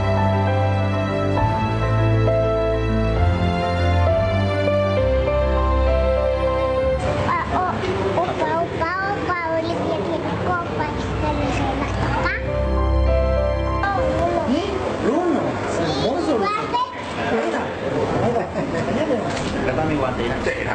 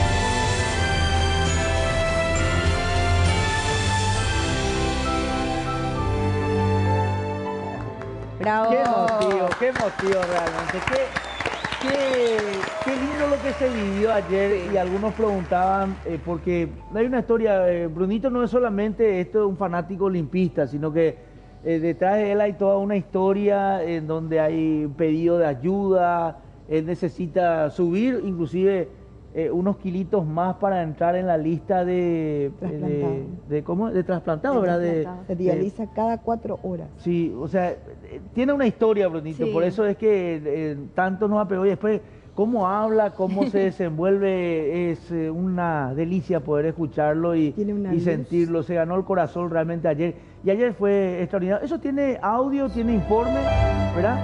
El, el material de la presencia de él en el estadio. Julia. No, lo quería saber nomás si tenía audio, no, porque ese es el momento en que él, eh, él lle- llega a la cancha porque le, le- le acompañamos, ¿verdad? De, de salida de la casa y, y llegaba a la cancha también ahí, cuando llegaba con sus padres, ¿verdad? Bonito estaba muy emocionado, ahí está Joel, que estuvo López. acompañando fue López durante toda la tarde. La acompañó desde el día que Olimpia llegó a Ciudad del Este Sí, y lo sí. visitó esa noche en el hotel, porque eh, Brunito lo visitó al, al hotel a los jugadores de Olimpia ya una noche antes del partido. Artista ya, eh, Brunito ya sacaba fotos con la gente. ya. Pero para la edad que tiene Carlos, Pero él, fuera es, serie, él es sí. totalmente ahí estaba la cancha, mira lo que es. Mira, Para un chico saben lo que es entrar a la cancha a verle a su, a su a club, su ¿verdad? ídolo. ¿Tiene audio esto? ¿No? Está llegando al estadio. Sí, estamos llegando. Está muy emocionado. Sí, sí, estamos muy emocionados. Ahí está Brunito ingresando al estadio con toda la familia también. Eh, papá que vino del trabajo para acompañarle hoy a, a Brunito. Saliste un poco más temprano. Claro que sí, todo, todo por él. Sí o sí, tenía que salir un poco más tarde, pero hice todo lo posible y vine más temprano para acompañarlo. Bueno, esto es lo, lo importante, ¿verdad? Que de repente él también se sienta bien, disfrute de esto. Claro que sí, Es un fanático. ¿eh? es un fanático ah, 100%. Ayer nos fuimos al hotel y está feliz, feliz con los jugadores. Y yo también me sentí muy feliz al verle que llegó así contento con los jugadores. ¿Cómo te sentido hoy? Estar en el estadio ya. ¿Eh? Estás purísimo. ¿Eh? ¿A quién le está buscando A Willy Mendieta le crees. ¿Vas a gritar los goles de Willy hoy? Allá está.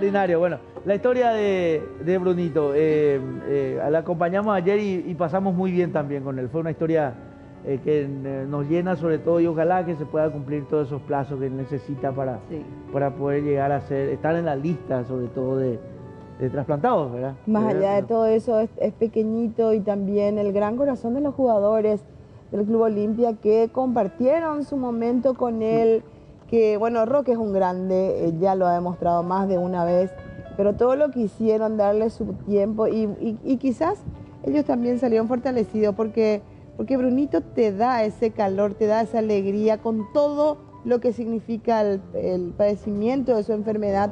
Él conserva esa energía y, y quizás Él nos da más a nosotros Sí. que nosotros lo que podemos dar a Él, porque todos estábamos mirando eh, con una sonrisa a los labios todo lo, que, todo lo que significaban los materiales de Brunito y no quiero ni imaginarme esa gente que estuvo con tanto. Ve que la Joel, Joel eh, irradiaba alegría siguiéndole a Brunito y por eso digo, eh, Brunito nos da más a nosotros que quizás nosotros a él. Entonces quiero destacar yo la- el gesto de los jugadores de fútbol últimamente, Sí. eh, sea de todos los clubes. En este caso le tocó a Olimpia, pero vi muchos casos de jugadores de Cerro Diego y Churín. jugadores de otros clubes también acompañando el proceso de chicos, de llegando hasta el hogar. Vos sabés que eso eh, significa muchísimo para estas criaturas, sobre todo que por el momento que están pasando. Así que bueno, felicitaciones a todos ellos. Este fue, esta fue la historia de Brunito ayer. Lastimosamente no fue la victoria de Olimpia, pero bueno, eh, estuvo ahí en la cancha y seguramente va a participar de otras victorias más. Compañero, volvemos entonces aquí a Pulso Urbano y hay un comentario acá para Sí. aclarar sobre una información también. Sí, ¿no? veníamos hablando de lo que pasó en la Chacarita, Mm. este mano a mano que compartíamos. Natalia Duarte aclara lo siguiente, él estaba bien, es, mi, es primo de mi nuera, por suerte no pasó mayores y no lo pasó nada grave. El video que compartíamos antes, que realmente es muy Aquí brutal, pero está bien. Ahora, hablamos del hashtag, Acuer- acordate de poner, ¿qué es paraguayo? El hashtag es paraguayo, dice. El tererupá, falta nomás que digan la cama del mate frío, dice Hugo Ruiz. Nancy dice, el guaraní, la chipa, el cocido, el mate a nuestra manera, nuestro asado. Y la gente que vota lo mismo todos los años y luego se pasa otros cinco años quejándose, dice. Eso es paraguayo, ¿cierto? Está. la gente, claro, Bueno, claro. porque la gente empieza a gente. ¿Qué tener su... me- había uno que era... Bueno, este es El. Facebook. Gracias a la gente del Facebook. Ahora comenzamos con el Facebook. Este está bien, el reviro, reviro el es paraguayo. Vos sabés claro. que en el... En, queda feroz, en 26. Corrientes y Misiones Sí. se come mucho reviro también. ¿Cómo ¿eh? sería si le van a cambiar el nombre Hay que buscar, hay que buscar. Eh, bu- eh, la empanada de mandioca, el tereré también. Después dice la polca, la guarania, el payaguá mascada, el chorizo sanjuanino. El Ja, chorizo sanjuanino, que, claro. Que cuando se dice Sí. misionero muchas veces también quieren hacer pasar como el Hola. pe- vecino país. Así que atención. Eh, después, el mandioshirur con huevo, cebollita y mucho queso. Ah, esa, Ja, ¿eh? ¿Es eso paraguayo? ¿Cómo es? paraguayo. ¿Es paraguayo? El- es paraguayo. El mandioshirur con huevo, cebo-. Chirrí puse, ¿verdad? Pero es shirurú. Cebollita y mucho queso. Sí, Qué esa, bueno. ¿eh? Bueno, Bueno. y después los ñenga, nuestro yo pará. Eso no nos pueden sacar. El cocido. El. No, chocolatorta no. Sí, sí, sí. En Bueno, fin.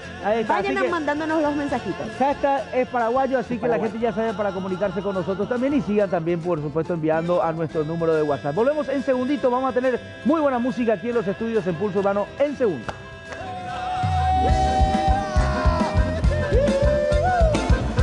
Y señor.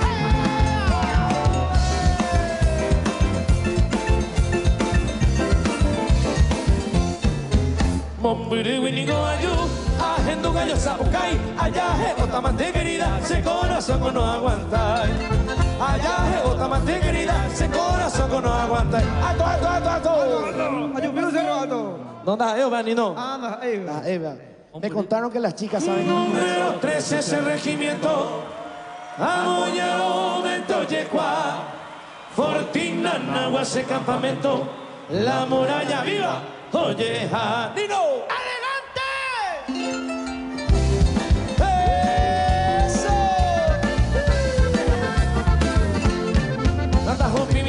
la visera, tamboyo ya se maracamí. Amongara y bonana guatrichera, taro pura hey, tres en tuyuti. Aro pura hey, ta regimiento 13 en agua de gloria, lleno viajaite. Ay te verá y regimiento 7 en la.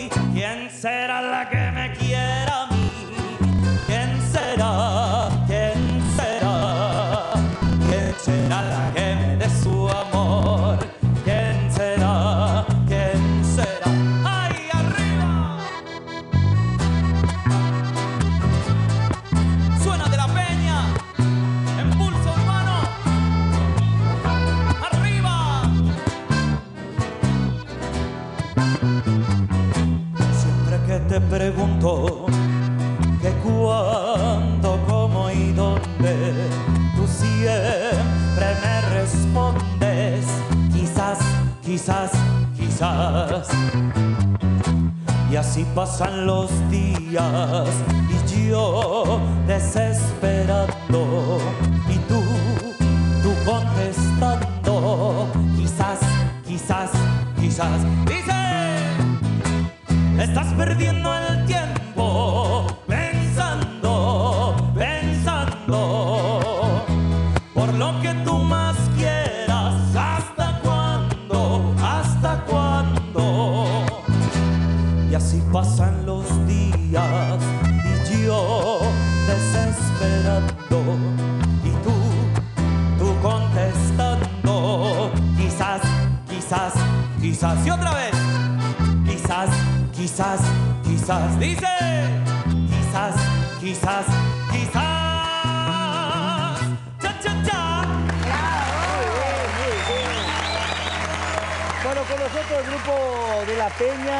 Presentación también aquí ustedes tienen el número ahí de contacto del grupo, el 0985-275-936 para los contratos. Está Ulises Burgos, ¿dónde está Ulises? Ahí está Ahí Ulises está, Burgos, bajo y voces, Cristian Peralta en guitarra, está Derlis Burgos en batería. ¿Eh, ¿Qué pasó Derlis Burgos? Hoy no pudo venir. ¿No vino Derlis Burgos? Bueno, Derlis Burgos, bueno. Saludos, Derlis Burgos. Bueno, César Ortigosa, acordeón y voces, ¿verdad? Fernando Gauto en primera voz, ¿verdad? Y Nadia Alvarenga en percusión. Ahí está, Nadia, ¿eh? Para mí y que ya Nadia, vino. ¿eh? No sé si ya vino, me quedé en duda con... Nadia, ¿vos, vos no viniste todavía al programa? Sí, ya sí, vino. ah, Sí. él le decía, bueno, porque en un momento hizo su show también ella ya en el Sí. programa, era un, un solo que le hicimos Sí. hacer, era con la batería, ¿verdad? Ah, bueno, listo, eh, para no decir nomás. Bueno, contanos, Fernando, cómo surge el grupo y, y el estilo sobre todo, ¿sí? Muy buenos días para todos, la verdad es un placer enorme, un placer inmenso venir a compartir esta mañana tan linda, ¿verdad? Ya con un clima bastante agradable, ¿verdad? Del día de hoy amanecimos. La verdad que el nombre del grupo mismo eh, surge a raíz de, de la amistad que había entre todos nosotros, ¿verdad? Que en el compartir entre, el- entre los amigos, entre los muchachos, ¿verdad? De ahí surge De La Peña, ¿verdad? Por eso suelen preguntarnos bastante. Éramos un grupo de amigos que solíamos hacer eh, un compartir entre los muchachos, músicos, y bueno, de ahí surgió la idea de hacer algo, algo lindo, ¿verdad? Algo que, un proyecto muy nuestro, ¿verdad? Y, y jugarnos también por lo que es el folclore latinoamericano y el folclore nacional también, Muy ¿verdad? bien, que vamos a bien. hacer un poquito. Bueno, y Mati Crosa, ¿qué es lo que hace? ¿Qué, ¿Qué es? Aparte de sacar fotos, ¿verdad? Él es nuestro representante. Ah, bueno, bueno, está bien. Estamos por buen camino. Además, Crosa hace 27 mil cosas, bueno, ¿verdad? Entonces, así que... Multiuso. Bueno, bueno, en cualquier momento van a ser actores destornillados también ellos, ¿verdad? ¿O no? si es no que ya no actuaron ya algunos, ¿verdad? Sí, si no estuvimos, actuaron ya algunos. ya estuvimos. Bueno, Ya no. bueno, así que bueno, éxito. Seguida vamos a escuchar más música con el grupo de La Peña en esta presentación aquí en Pulso Urbano. 0985-275-936 entonces para eh, contrataciones de este grupo que está ahora con nosotros aquí en Pulso. Minutitos más música en vivo aquí en Pulso. Bueno, vamos a recordar algunos de los hechos importantes en la mañana. Hablamos del caso del disturbio en la Fiscalía de Encarnación. Momentos de tensión se vivieron en la Fiscalía de Encarnación donde Néstor Pacheco, ex guardia de la municipalidad, prestó declaración durante 10 horas sobre la causa del incendio de la comuna. Sus familiares denunciaron que en todo momento estuvo solo, sin la compañía de su abogada defensora, la cual, según declaró, le prohibieron la entrada al lugar. Pacheco manifestó que lo obligaron a cambiar su declaración de manera involuntaria. Otro tema, el fiscal John Paul López seguirá al frente de la investigación del feminicidio de Sabrina Breuer, ya que la Sala Penal de la Corte Suprema de Justicia declaró inadmisible la recusación presentada por los abogados defensores de Gerardo Stadecker. Recordemos que Stadecker, esposo de Sabrina, está imputado por feminicidio y guarda reclusión en el penal de emboscada desde el 20 de diciembre pasado. Bueno, y vamos a hablar del Sudamericano Seis Naciones de Rugby porque en la primera fecha Paraguay enfrentará a la selección de Argentina 15, la segunda selección de rugby de este país. El partido, el partido digo bien, será hoy sábado 5 desde las 15.30 en el Estadio Héroes de Curupaytí en el Comité Olímpico Paraguayo. El torneo enfrentará a seis equipos sudamericanos en el nuevo formato del Sud- Sudamericano Mayor A que amplió su cuota de 4 a 6 participantes con la inclusión de Paraguay y Colombia. Y atención porque en la ciudad de Itagua hubo un intento de homicidio. Agentes de la Brigada Central ca- capturaron al conductor del vehículo, desde el cual se hicieron disparos hacia una estación de servicio. Este hecho ocurrió en Itagua y una persona resultó herida. El que apretó el gatillo fue identificado como Osvaldo González, de 21 años, y fue acusado por tentativa de homicidio doloso y aún sigue prófugo. Bueno, y ante las dudas, el Poder Ejecutivo anunció que efectivamente el próximo 14 de febrero es feriado junto al día 15 del mismo mes, en vigencia a la Ley 4531.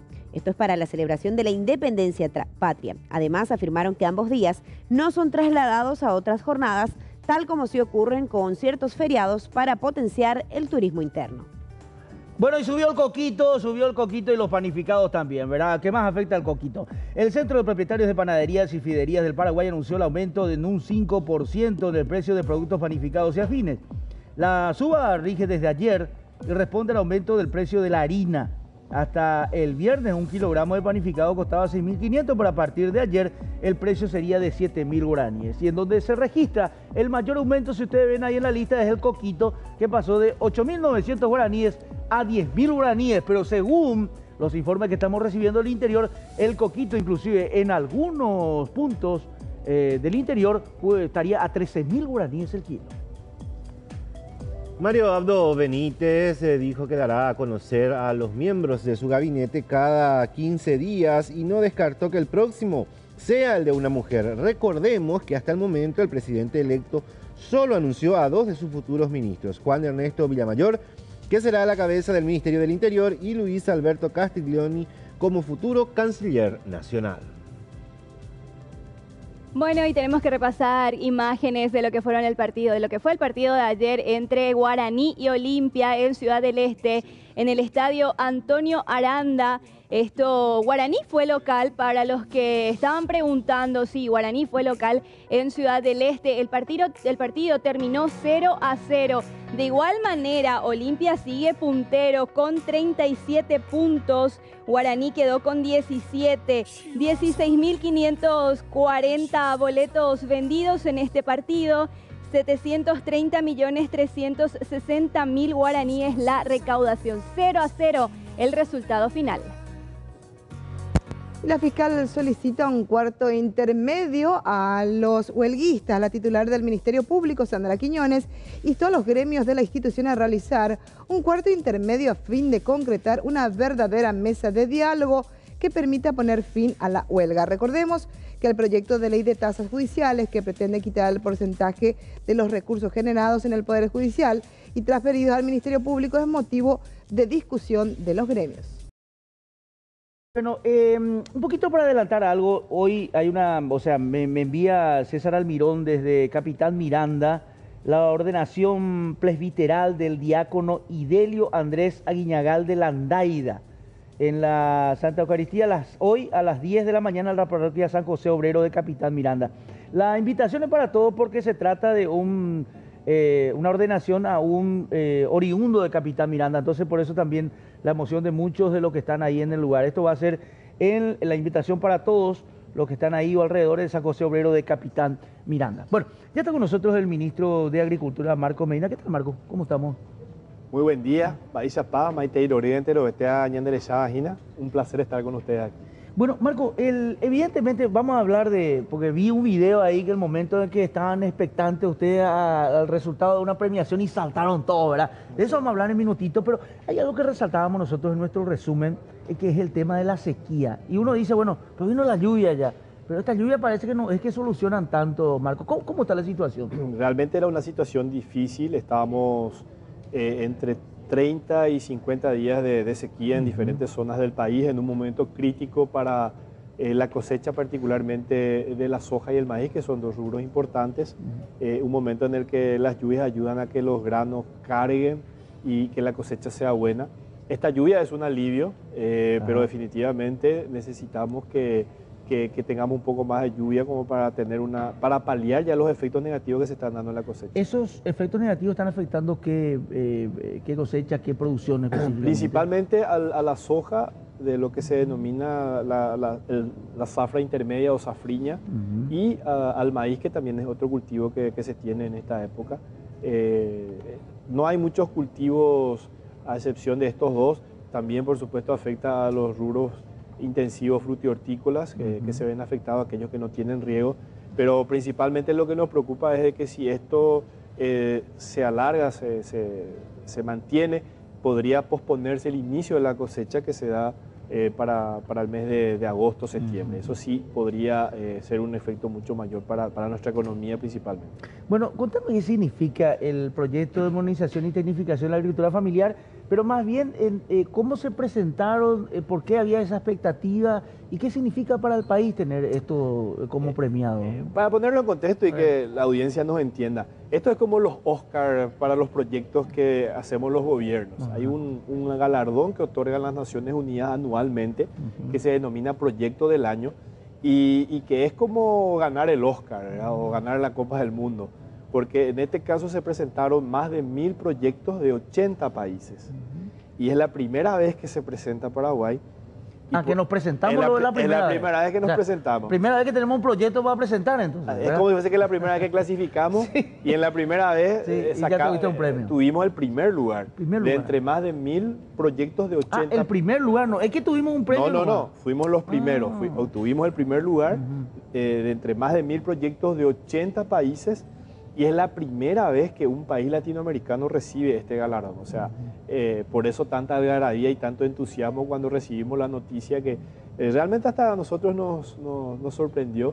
eh, pero también nos, nos llenó de un sano orgullo entendiendo de que es un reconocimiento, un gran esfuerzo que se hizo ahí todo un equipo de trabajo que desde hace un tiempo viene llevando adelante este, este proyecto que inició en el año 2014, eh, un proyecto que lleva a la fecha mecanizadas un poco más de 44 mil hectáreas, beneficiando a 30 mil familias con la incor- incorporación de buenas prácticas de manejo que hacen que la producción sea sostenible y por sobre todo una característica que, que fue fundamental para la premiación del galardón, un alto empoderamiento de las mujeres. 43% de, los, de las fincas beneficiadas están encabezadas por mujeres y eso realmente es un gran logro, entendiendo de que la agricultura normalmente es un, es un rubro dominado o es un sector dominado por los hombres. Ahora, cuando uno dice, bueno, es un proyecto eh, premiado, pero es un proyecto que está dando resultados también. O sea, si uno dice, bueno, está bien, fueron premiados, pero internamente, ¿qué se siente? O sea, ¿cómo, cómo ves los resultados? Más allá del galardón, que, que por supuesto da visibilidad, eh, el gran mérito de este proyecto es eh, haber implantado o establecido una nueva visión de, de la agricultura familiar, porque eh, muchas veces nosotros hablamos del, Pa- del Paraguay tecnológico, exportador de soja, de maíz, de trigo, y nos olvidamos que hay un segmento de la agricultura familiar prin- principalmente con muy poca incorporación de tecnología. La, la mecanización y modernización de la agricultura es un paso muy importante a la tecnología. Y el siglo XXI es el siglo de la innovación y la tecnología. Cualquier persona, empresa, sociedad o sector, en este caso el, agrícola, que no apunte a la incorporación de tecnología se ve postergado en sus oportunidades. Y hemos instalado eh, una política pública que estamos seguros debe, eh, debe continuar, continuará en los siguientes gobiernos, de tal forma que este segmento vulnerable de la agricultura familiar eh, también incorpore tecnología y a través de la incorporación de tecnología mejore sus ingresos y su calidad de vida. ¿Hacia dónde se eh, proyecta el proyecto? Digamos, valga la redundancia, pero ¿hacia dónde va, va a continuar? ¿Cómo continúa eso? ¿Hacia qué departamentos, eh, Eh, ministro? este es, es un proyecto que a la fecha está presente en siete departamentos. Es importante resaltar de que es una articulación pública entre diferentes instituciones, el Ministerio de Agricultura y Ganadería, la Secretaría Técnica de Planificación, eh, el, la ITAIPU con el desembolso de los recursos, también el, el INDER está vinculado, Petropar también está por entrar en el mismo proyecto. Y esto es como un- un- una especie de, escuela. Empezamos con lo básico en el preescolar, con el, con el destoque, el destronque de, de la, de la superficie de las parcelas de los pequeños productores y hoy vamos avanzando. Eh, estamos en el cuarto año, hemos llegado inclusive a, a instalar en esta, en esta ocasión 200 hectáreas de, reforestación, que es muy importante, y apuntamos que la siguiente etapa tengamos unas 5.000 hectáreas de siembra directa y unas 1.000 hectáreas reforestadas en las fincas de estos pequeños productores. Bueno, evidentemente es un proyecto que, que- que avanzó muchísimo y que seguramente ya se va a querer. ¿Cómo continúan estas políticas de aquí en más, ministro? Porque uno dice, está bien, el ministro está explicando, hay un proyecto, viene otro ministro. ¿Cómo, se, ¿Cómo dejan este proyecto para que continúe? ¿Qué seguridad le das a la gente que está dentro del proyecto? E- Es el gran desafío que tenemos como eh, servicio público. Eh, es, es muy común ver de que cuando cambian las personas o cambian los gobiernos, cambian las visiones y los proyectos. Y eso no debería, debería ser así. Deberían, las políticas públicas son acciones que se llevan adelante sin depender de personas, gobiernos. Eh, es algo que se, que se hace en el tiempo para tener efectos positivos. Y tener, existen ejemplos muy, eh, muy significativos. El, el caso de la vacunación de fiebre aftosa es un, es un ejemplo, es algo que se ha hecho desde, desde los principios de los años 2000, se ha mantenido sin importar los gobiernos, las personas, y bueno, el Paraguay hoy está posicionado beneficiando a grandes, pequeños, medianos productores, todos se ven beneficiados y es algo que también tenemos que eh, inculcar e introducir con mayor fuerza aún en el segmento agrícola con la modernización de la agricultura familiar campesina es fundamental. La pobreza en el campo existe, es innegable, pero esa pobreza no se debe a la falta de oportunidades, se debe a la falta de conocimiento y tecnología. Es como pretender de que en el sector agrícola, poniéndolo en perspectiva, el pequeño productor eh, quiera producir con el telégrafo en, el te- en los tiempos de los celulares inteligentes. Con el machete y la asada ya no podemos llegar a Y eso. hoy, hoy cuando hablamos nosotros de ese sector, el que, el que no tiene ese conocimiento, esa infraestructura, esa tecnología, ¿qué porcentaje estamos hablando que, que existe todavía, ministro? Es, un- es una muy buena pregunta. Eh, hemos pasado en este periodo de gobierno de unos 20 mil productores que... eh, El segmento de la agricultura familiar está estimado, eh, se compone de unas 250 mil fincas. 250 mil. De esas 250 mil, al inicio de este gobierno, unas 25 mil estaban dentro de la mecanización y modernización. Ya estaban dentro de las cadenas eh, tecnificadas.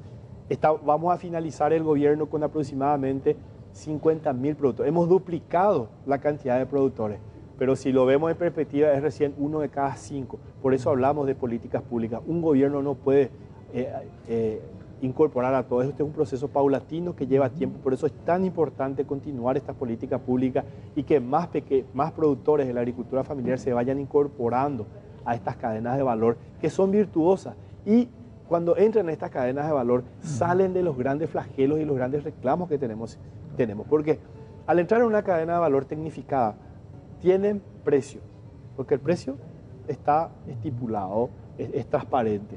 Tienen mercado porque hay demanda. Tienen asistencia técnica o del gobierno o de las mismas cadenas que eh, ofrecen esa asistencia técnica. Y tiene- tienen financiación porque las mismas cadenas financian al productor para su producción. En ese sentido, creemos de que este círculo virtuoso eh, complementa las acciones que lleva adelante eh, el gobierno y finalmente lo que hace es generar oportunidades para el pequeño productor. Y una cuestión muy importante que creo que hay que remarcar es que eh, esto no es solamente incorporar tecnología y productividad, esto es incorporar un modelo de vida, esto es hacer de que la persona trabaje por sí misma, con la dignidad del trabajo consiga su, su mejor calidad de vida. El- el- eh, por eso te hablaba yo de la política.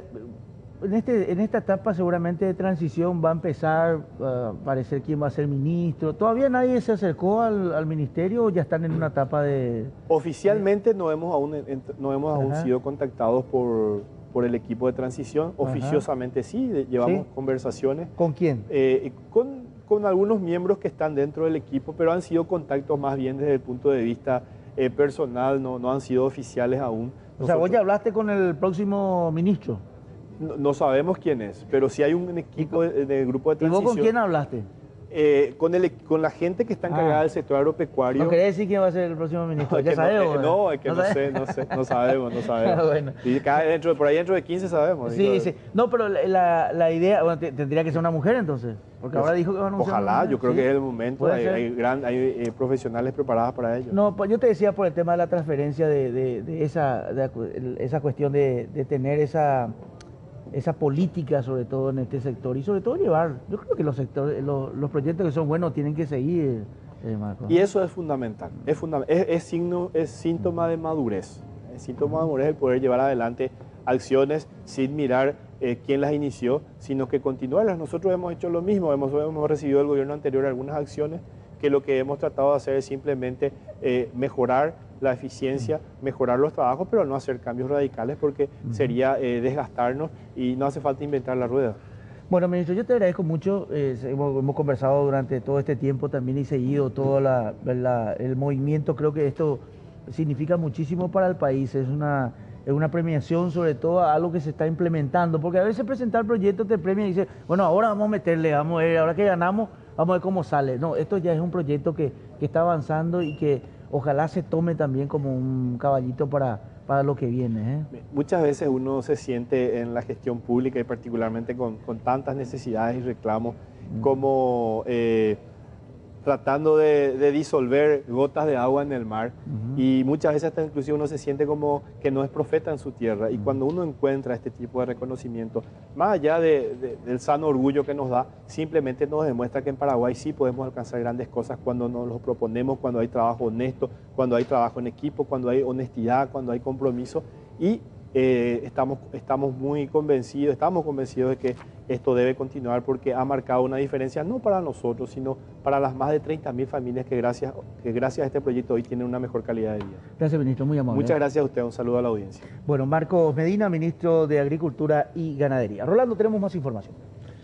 Hablamos ahora de otras noticias de esta mañana porque encontraron muerto a un integrante de la Fuerza de Tarea Conjunta, el sargento primero de artillería Arnaldo Andrés Aldana Ortiz. Fue encontrado sin vida en un taller de Pasotuyá, Concepción. Por su parte, el vocero de la FTC, teniente coronel Simón Leguizamón, manifestó que el hecho se trata de un suicidio presumiblemente y comentó que esta hipótesis se basa en los elementos recabados por los agentes de criminalística y por supuesto también por efectivos de la Policía Nacional.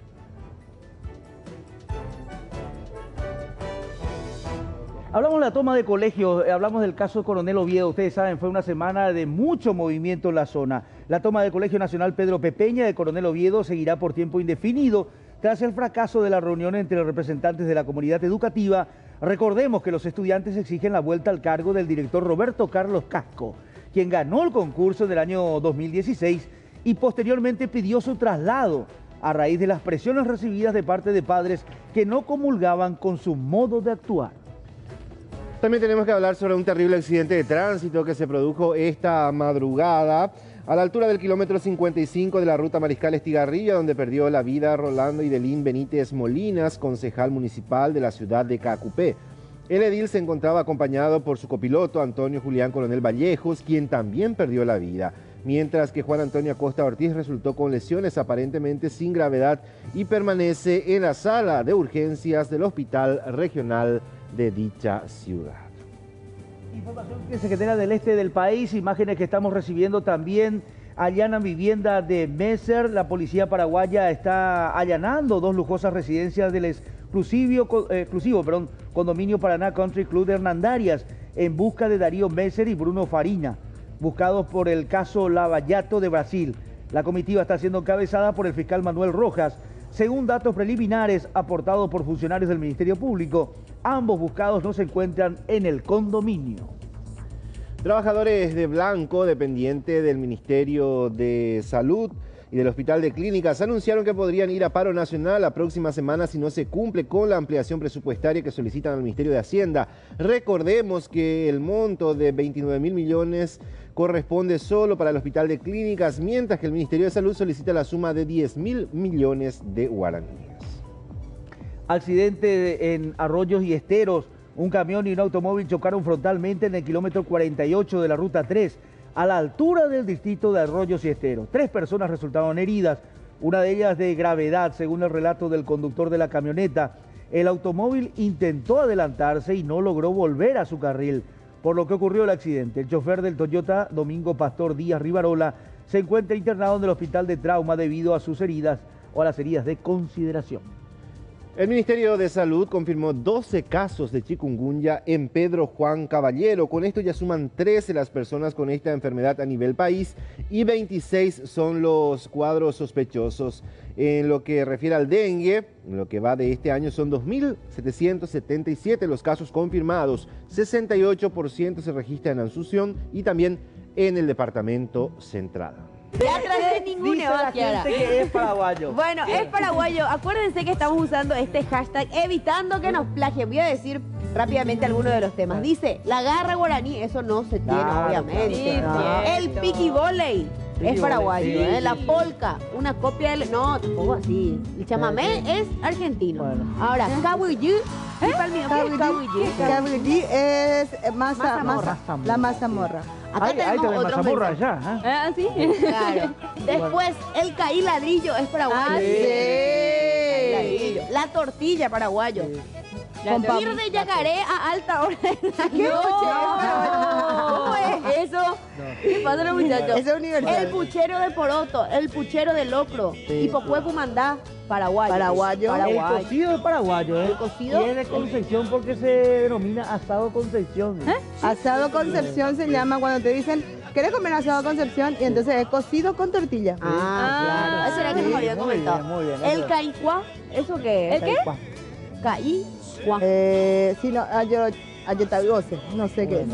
Bueno, y hay. Ah, caicua, caicua. Caicua. Eh, creo que Ah. el que se hace de la chala, del maíz, y se pone adentro, se ata en la, en la... Algo parecido tienen los argentinos que es la humita. ¡No! ¡No! No, está diciendo que le estamos copiando ya ahora. Bueno, y así, Bueno, un ahí. montón de mensajes. La gente puede seguir mencionándonos. Acá había uno. Una comida que nunca van a plagiar es el reviro. Reviro, sí, Otra cosa reviro. que no pueden pla- plagiar dice el yaumina. Yaumina. Ese es paraguayo. Claro, Otra ese cosa, tradición, sí. llamar a los amigos los perros, dice. Sí, Eso los es perros, paraguayo. sí, Profesor. sí, Y así, un Profesor. Sí, sí. Montón de mensajes. Seguí escribiéndonos. Cero. Bueno, vamos a la pausa, volvemos en segundito.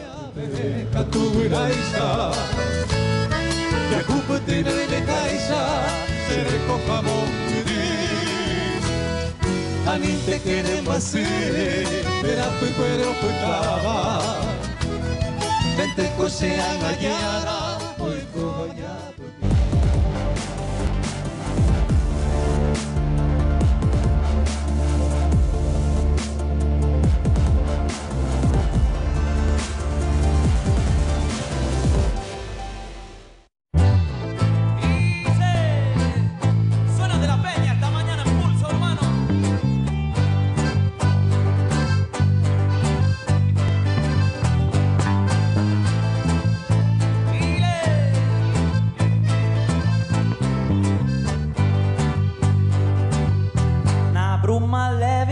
leve das paixões que vemos de dentro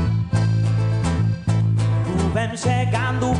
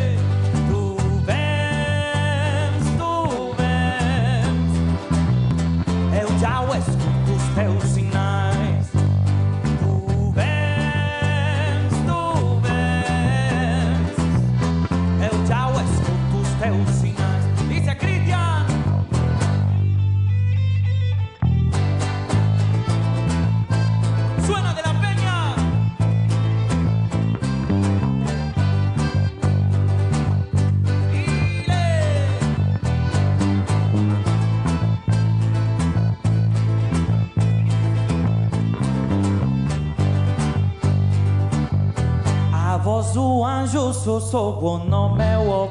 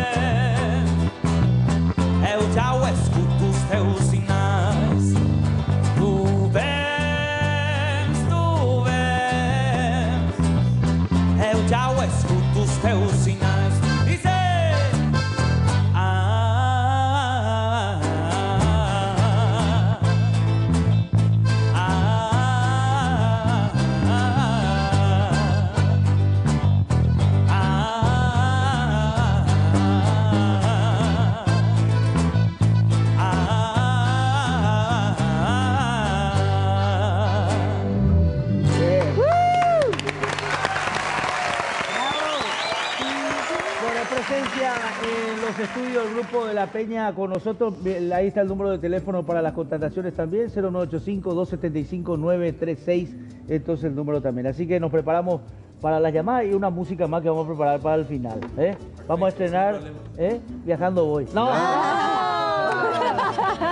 Recién hace una semana no ella. Chiste temático, o sea, era para no atribuirle, no nos atribuimos también, no digo, ese fue mi chiste, ¿verdad? Eh, Sino que ya chiste tiene, tiene producción, sí, tiene producción. ¿eh? Bueno, vamos a Jorge Escurra, ahí parece alguna inquietud con referencia al tema de la energía eléctrica. A ver, ¿qué pasa, Jorgito? Así es, Carlos. El saludo nuevamente para vos, todos los compañeros en piso y toda la teleaudiencia del SNT. Bueno, estamos en el portal número 2 del mercado de abasto, específicamente sobre la avenida Defensores del Chaco, con relación a este reclamo que vienen realizando los comerciantes de la zona. Las pésimas condiciones en las que se encuentran los tendidos de energía eléctrica en este sector. Vean ustedes, por ejemplo, este cable, eh, son cuatro cables que salen justamente de, de este tendido que cruza aquí por la avenida Defensores del Chaco y están inclusive colgados sobre lo que son los techos de zinc. Eh, varias veces incluso ya habría chispeado estos cableríos que se encuentran aquí en este sector y recordemos que el año pasado, específicamente un domingo eh, 15 de octubre, se incendió el bloque C. Todo lo que correspondía al bloque C quedó reducido a cenizas y aparentemente todo indica que fue a causa del circuito cerrado, o mejor dicho, del cortocircuito, digo bien, perdón. Eh, y bueno, eh, esta es la situación que se tiene aún aquí en este sector pese a ese antecedente. Y vamos a entrar aquí para conversar con los comerciantes sobre esta inquietud de los cables eh, que se encuentran colgados, incluso tocando el techo de zinc, que obviamente también tiene, o sea, en algún momento podría también ocasionar algún tipo de corto. Y vamos a ver si podemos hablar con una de las eh, comerciantes aquí de la zona. Estamos en compañía de la señora Celsi. Eh, si podemos hablar, doña Celsi, ¿qué tal? Buen día. Envío para Canal 9 con relación a esta problemática que se tiene con relación a los cables. Y necesitamos que se haga tipo la, ¿cómo te digo? La, ellos dijeron que iban a colocar las columnas. ¿Viste que está acá sobre el techo? Ayer vinieron a reparar lo de la Ande, ¿verdad? ¿Repararon ya o vinieron a mirar? Vinieron a mirar, no sé, porque nosotros no vimos todavía arriba, ¿verdad? Pero ellos vinieron a trabajar con la gente de la administración, ¿verdad? Pero no, no cambiaron de lugar, dijeron que iban a cambiar, iban a poner columnas, pero eso no sucedió. ¿Ustedes están con el temor de que se repita lo que pasó en el bloque C? Claro que sí, hace poquito nomás acá en mi local se prendió todo, esta parte del frente, por el tema de que el cable que venía directo de la Ande se pegó por la chapa. Y ahí empezó a chispear. Ahí empezó a chispear y explotó todo y eso, y así estaba atado nomás por una rama del árbol que tengo acá. Sí, vimos que está atado todavía inclusive. Y eh, bueno, y entonces no arreglaron. Sigue todo igual. Sigue todo igual. Lo que necesitamos es que se cambie el lugar, que se pongan las columnas, porque cruzar encima de las chapas es muy peligroso. Y en cualquier momento va a ocurrir algo inesperado otra vez. A todo esto, la preocupación de este peligro de incendio eh, también se suma a la inseguridad que se tiene constantemente aquí siempre. No, acá es impresionante. La inseguridad que hay es impresionante. Acá los, los que se, se drogan todo, le roban a los clientes. Después que viene ese grupo Lince, lo que ayudó más. Ya ingresa el grupo Lince aquí. Sí, suele venir y eso es lo que ayuda más. Porque todos los días hay robo, todos los días. ¿Su nombre cuál es? Celsi Lombardo. Celsi, doña Celsi. Celsi Lombardo. Ceci Lombardo, entonces, comerciante aquí en la zona. Y bueno, vean ustedes justamente lo que decía doña Celsi con relación a los cables, muchos inclusive cables de alta tensión que cruzan directamente por encima del zinc sin ningún tipo de protector. Esto sumado al calor que tuvimos durante los últimos días, por ejemplo, podría ocasionar eh, eh, cortocircuitos.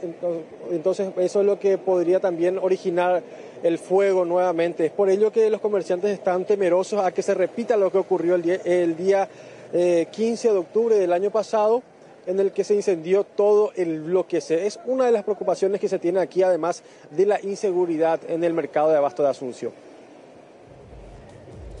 Gracias, Jorgito, gracias, gracias, muy amable. Bueno, ya estamos en compañía de Roberto Salinas, presidente de eh, FEPASA. Vamos a hablar un poquito de algo que sin duda alguna va a cambiar, porque hay mucho que eh, tiene esa añoranza del ferrocarril y todo eso, y, y- y qué va a pasar. Pero esta semana fue importante porque la Cámara de Diputados aprobó en general el proyecto de ley de tren de cercanías. Bueno, buenos días antes que nada, presidente. Muy Buen amable. día, por Carlos. Un, un gusto estar acá contigo, con la teleaudiencia, explicando un poco esto. Sí, ¿Qué significa el tren de cercanía? Para que la gente entienda nomás qué es lo que van a reactivar y para qué serviría. El tren antiguo, ¿te acordás, verdad? El que salía de la, de la estación central, iba por Parque Caballero, después Tablada, Botánico, Luque, y se iba hacia Encarnación, ¿verdad? Sí. Bueno, esa misma línea, la misma línea, ¿verdad? 44 kilómetros de Asunción a Hasta ahí queremos reactivar, ya con un sistema moderno, ¿verdad? Hasta Ipacaraí. Ese Hasta es sería. Ese es el Sí. trayecto inicial. Apuntamos a eso porque ahí está la principal demanda. ¿verdad? Resulta que estos sistemas son muy costosos, son caros, son grandes para mucha gente. Entonces tenemos que apuntar donde hay demanda para que después podamos crecer, digamos, tierra adentro. Por demanda, eh, o sea, yo te iba a preguntar, ¿por qué volver al tren? Te iba a decir. Eh, Lo que, lo que pasa es que el tren es un medio masivo de transporte y de calidad, de alta calidad. Entonces, ¿qué es lo que hace el tren? En ciudades muy populosas o en países muy, digamos, de mucha población, lo que hace es brinda un servicio de transporte masivo y eso que hace disminuye el costo unitario del transporte.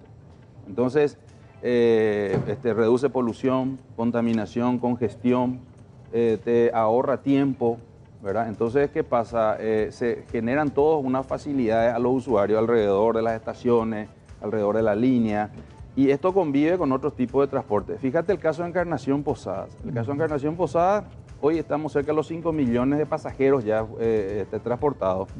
Y antes te tomaba el- eh, cruzar el puente dos horas, hoy 8 Claro, minutos. claro. Entonces, él va resurgiendo, digamos, el tema del tren en todas partes del mundo porque es un servicio de suma utilidad, altamente beneficioso, de gran impacto. Este va a ser totalmente eléctrico. O sea que al ser, claro, al ser eléctrico ahí no contaminás, ahí no importás eh, combustibles, ahí no eh, eh, sacás divisas del país.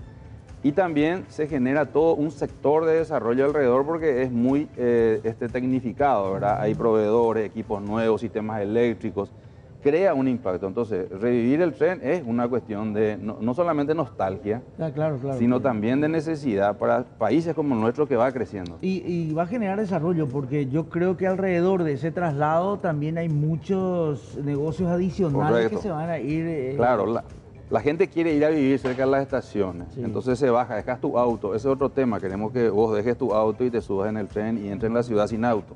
Entonces sacamos autos, digamos, a la ciudad, eso o sea, va a beneficia. llegar acá hasta la estación del ferrocarril. Hasta la estación y ahí te va a conectar, a lo mejor podés alquilar una bicicleta eléctrica o a lo mejor podés tener, digamos, algún medio de transporte ahí conectado con alimentadores.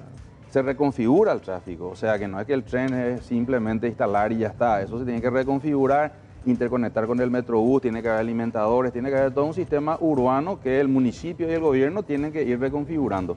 Entonces, hay una serie de ventajas sobre esta línea, la gente quiere vivir, se generan actividades comerciales, recreacionales, actividades, digamos, nuevas. Fíjate que esto va hasta Upacaraí, eh, al lado de la cuenca del lago, o sea, del, este, del lago.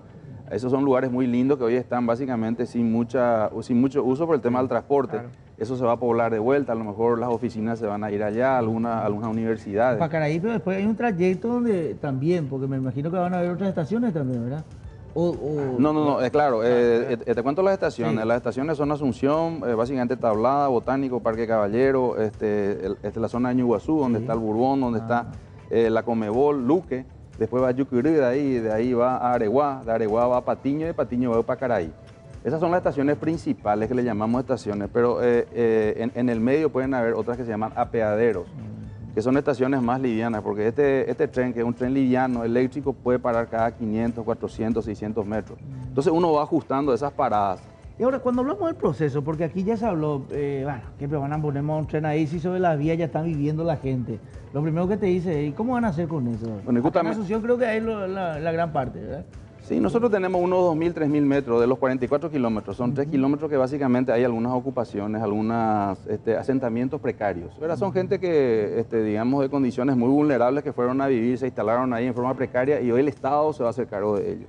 O sea, el Estado le va a dar vivienda propia, le va a mejorar las condiciones de vida, no solamente sacar por sacar, sino que le va a ¿En mejorar. qué zonas están esos? ¿Están distribuidos en Básicamente están entre, ¿conoces Villa Férrea y General Santos? Después de Libertad, más o menos. el Por eso Club Libertad. más en Asunción, Sí, Barrio Jara, Barrio, este, digamos, Trinidad. Ahí es donde hay una eh, densificación un poco alta de, este, de ocupaciones precarias. Ya hay 260 familias censadas por Senavita que ya están en un proceso de ¿Te relocalización. pueden aparecer más ahora que se aprobó la ley? No porque tenemos un control control estricto nosotros sobre la vía, estamos trabajando con los intendentes municipales, las propias comunidades, los vecinos denuncian, nosotros hacemos permanentemente acciones con la fiscalía, o sea, estamos trabajando en varios niveles. 260 familias sobre la vía. Sobre la ¿verdad? vía Y que son... van a tener sus casas de Senavita. Sí, señor, sus casas de reubicados. Y, pero también hay otro sector que van a ser indemnizados, ¿no? Después hay vecinos, Ajá. vecinos a la vía, que una vía que está de mediados de 1800, que dicen que están adentro, pueden estar adentro más o menos metros, ¿verdad? Ajá. Su lindero. Nosotros creemos que es improbable, ¿verdad? Pero bueno, si nos demuestran que tienen títulos que están dentro de la vía, la ley prevé indemnización. Dentro de la vía, ¿qué significa? Dentro de la franja, perdón. Eh, Tiene que haber un espacio, o sea, de, de- Sí. uno ve la vía del tren, ¿verdad? ¿Y cuánto eh, cada costado tiene que ser? La ley establece 7 metros a cada lado en áreas urbanas y Siete 10 metros, sí, 7 metros y 7 metros. O sea, son 14. Y 10 y 10, 20 en área rural. Eso quiero explicar también, no es que esa sea la propiedad nuestra o nuestros derechos, no, nosotros tenemos más, solamente que ahora para ser prácticos y tratar de encontrar un espacio son 7 y 7 y 10 y 10. Entonces si vos sos un vecino que demostrás que tenés un título que entra dentro de los 7, entonces ahí si se comprueba de que eso es legal, indemniza. se le indemniza, ¿verdad? Eh, eh, independientemente eh, este, o sin perjuicio que nosotros después podamos analizar el título de fondo, porque hay muchos títulos que con el tiempo en estos últimos 100 años se fraguaron, ¿verdad? Entonces, ese tipo de cosas vamos a revisar. La ley establece ese procedimiento. ¿Cuánto tiempo así no tenemos tren? Nosotros, el último tren de larga distancia, el que nos conectaba con Argentina en el 91-92 terminó. ¿Por qué? Porque Yacyretá recreció y cortó las vías en Carmen del Paraná, ¿verdad? Y ahí murió. Yacyretá nunca repuso, nos debe reponer. Y ahí está. El tratado le obliga a reponer 86 kilómetros. Estamos en gestión. Nunca se interesó. Hay que pedirle más kilómetros ya. Ah, que 86. ¿no? Bueno, los, Yacyretá 80 tiene va- los 86 son los comprometidos, ¿verdad? Y para más, esa es una, una- un recurso del Tesoro argentino que está comprometido en colocar en, en- en reposición de toda esa infraestructura que dañó, ¿verdad? Te estoy hablando de hace 20, 30 años. ¿Cómo se hace ahora? Pregunto yo. eh, ¿Ustedes tienen el dinero para poder invertir en esto? No, no. Nosotros no tenemos el dinero como empresa. Ferrocarril del Paraguay es una sociedad anónima que es concesionaria. Eh, entonces nosotros tenemos que buscar dinero. El dinero puede venir de dónde? ¿Del sector público, plata pública o plata privada? Entonces lo que a nosotros el gobierno nos dice es vayan a buscar en el mercado plata privada, entren a eh, eh, desarrollar en forma privada privada con algún asociado y traten de que, te- de que tengamos una tarifa competitiva que pueda pagar la inversión. Esa tampoco es la idea inicial. ¿Nacional o, interna o puede ser una empresa internacional también? Lo que pasa es que hoy en día ya eso es una cuestión que no tiene más límites, ¿verdad? Ah, ya, Porque el capital grande en el mundo existe, ¿verdad? Y eso fluye. Claro, ustedes como empresa privada, ¿verdad? Sí, o sea, el sí. sector ya, eh, una vez aprobado esto con el Congreso, ustedes ya ven con quién negociar. Totalmente. ¿verdad? Nosotros ya tenemos un proceso habilitado. Eh, Fíjate que en el año 2015, hace tres años, el presidente ya envió la ley al Parlamento en mayo del 2015. Nosotros creíamos que en cinco o seis meses íbamos a tener la ley. Y en mayo, en septiembre del 2015, ya teníamos cuatro grupos precalificados, esperando. Hasta ahora. Nacionales. Internacionales mixtos, Ah, mixtos, mixtos, mixtos, nacional e internacional, de primer nivel, ¿verdad? Porque estos son equipos costosos, son tecnología de primer mundo, o sea, entonces eh, ese proceso vamos a revisar de vuelta. Hoy en día, después de tres años, hay más interesados. Entonces vamos a tratar de utilizar todas las herramientas que tenemos y la atractividad que tiene el proyecto para poder encontrar ese financista y este que trabaje con nosotros a largo plazo. Una vez que eh, sanciona el Ejecutivo, ¿en cuánto tiempo ustedes creen que podría ya salir el tren rumbo al Pacaray? Bueno, revisando todo el proceso, una vez que tengamos promulgada la ley, ojalá que esta semana se apruebe la ley en el Parlamento, vaya, se promulga en el, eh, por el Poder Ejecutivo y ahí tenemos las condiciones para poder reiniciar un poco el proceso, revisar el proceso de precalificación, entrar en el proceso licitatorio, eh, tratar un poco de analizar con Senavita todo el tema, trabajar la parte final de las relocalizaciones, ver un poco el tema con los vecinos, cómo están, digamos, ahí adentro o no de la franja, hablar con las municipalidades. Estamos apuntando a más o menos 36 meses, un poco más tal vez para poder tener los primeros kilómetros, ojalá que 15 o más, con un ramal al aeropuerto, más el Luque funcionando comercialmente. Te hablo en el modelo de negocio en el cual nosotros buscamos capital privado afuera eh, este, eh, este, en mayor cantidad. Eso todavía tenemos que discutirlo con el nuevo gobierno, porque el nuevo gobierno es el que revisará la política del actual y ahí nos dirá, bueno, vayan por este lado o por este otro. ¿Vos como presidente, vas a- el, el próximo gobierno te cambia o no? ¿O vos seguís? ¿Cómo es eso? Nosotros tuyo.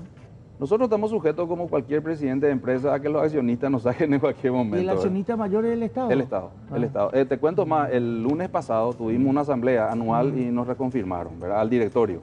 Entonces quiere decir que por ¿Y lo eso menos... por cuánto tiempo? Un año, cada año se hace asamblea. un año te puede tocar Marito entonces. No. Ah, te puede tocar. Ah, o sea, vamos a ver qué pasa entonces. Pero- pero- Ojalá que la política de este tipo se, se mantenga, ¿verdad? Porque creo que es beneficioso. Al menos lo que van a ser positivo. ¿verdad? No, fundamental. Y por otro lado, esto está todo ya hecho. Se trabajó mucho. Con la Facultad de Ingeniería se trabajó con eh, este, empresas internacionales. Hoy tenemos un proyecto que yo no creo que tenga más punto de retroceso. Entonces hay que aprovechar, hacer rápido, ¿verdad? Porque es una necesidad que este, podamos revivir esto de vuelta y, y ponerlo al servicio de la gente. Roberto, gracias por estar esta Muchas mañana. gracias, bien. Carlos. Cuando Bueno, guste. Roberto Salinas, presidente de FEPASA, entonces hablando de esto que eh, va a ser una revolución una vez que esté el tren de cercanías. Bueno, vamos a la zona de Santa Rita, Expo Santa Rita, hoy arranca, ya está Joel, Joel el polifacético, ¿verdad? De gran olimpista, ¿verdad? Ayer con Brunito eh, en el estadio, nos- eh, bueno, destacándose, por supuesto, y acompañando, ¿verdad? ¿Cambió de club, Joel, o no? Eh, seguimos, seguimos. Eh, seguimos. Eh, nos decepcionamos un poco. Bueno, bueno, eh, y bueno, y ahora la Expo Santa Rita ya en lo económico con nuestros grandes amigos de Coca-Cola, Joel. ¿Qué tal, Carlos? Saludos a todos los televidentes de Pulso Urbano. Estamos en Santa Rita, en el universo del agronegocio. Ya me encuentro también con la encargada de comentarnos, como siempre, eh, todas las actividades, la señora Blanca Letieri, Relaciones Públicas de la Expo. ¿Qué tal? ¿Cómo estás? Buen día. Buen día, Joel. Buen día, Aranada. Gracias por darnos este espacio. Y en nombre del presidente de la Expo Santa Rita, muchísimas gracias a todos ustedes y en especial al Sistema Nacional de Televisión. Bueno, el ¿qué canal de la? Expo, el canal de la Expo, Sí, ahí ¿eh? está, el, canal de la Expo, sí, señor. ¿Qué tenemos acá hoy? Eh, ¿Cuáles son las actividades y cuántas empresas están aquí? Bueno, eh, empecemos por la cantidad de expositores, más de 400 expositores de todo el país y fuera del país como Brasil y Argentina, hoy ya se encuentran aquí. Eh, quizás ultimando algunos detalles, pero hoy a partir de las 9 de la mañana ya está habilitada la Expo Santa Rita para que todas aquellas personas que quieran venir a visitar, las puertas están abiertas. ¿Cuántos días? De aquí al 13, son nueve días específicamente. ¿Artistas que van a ir llegando?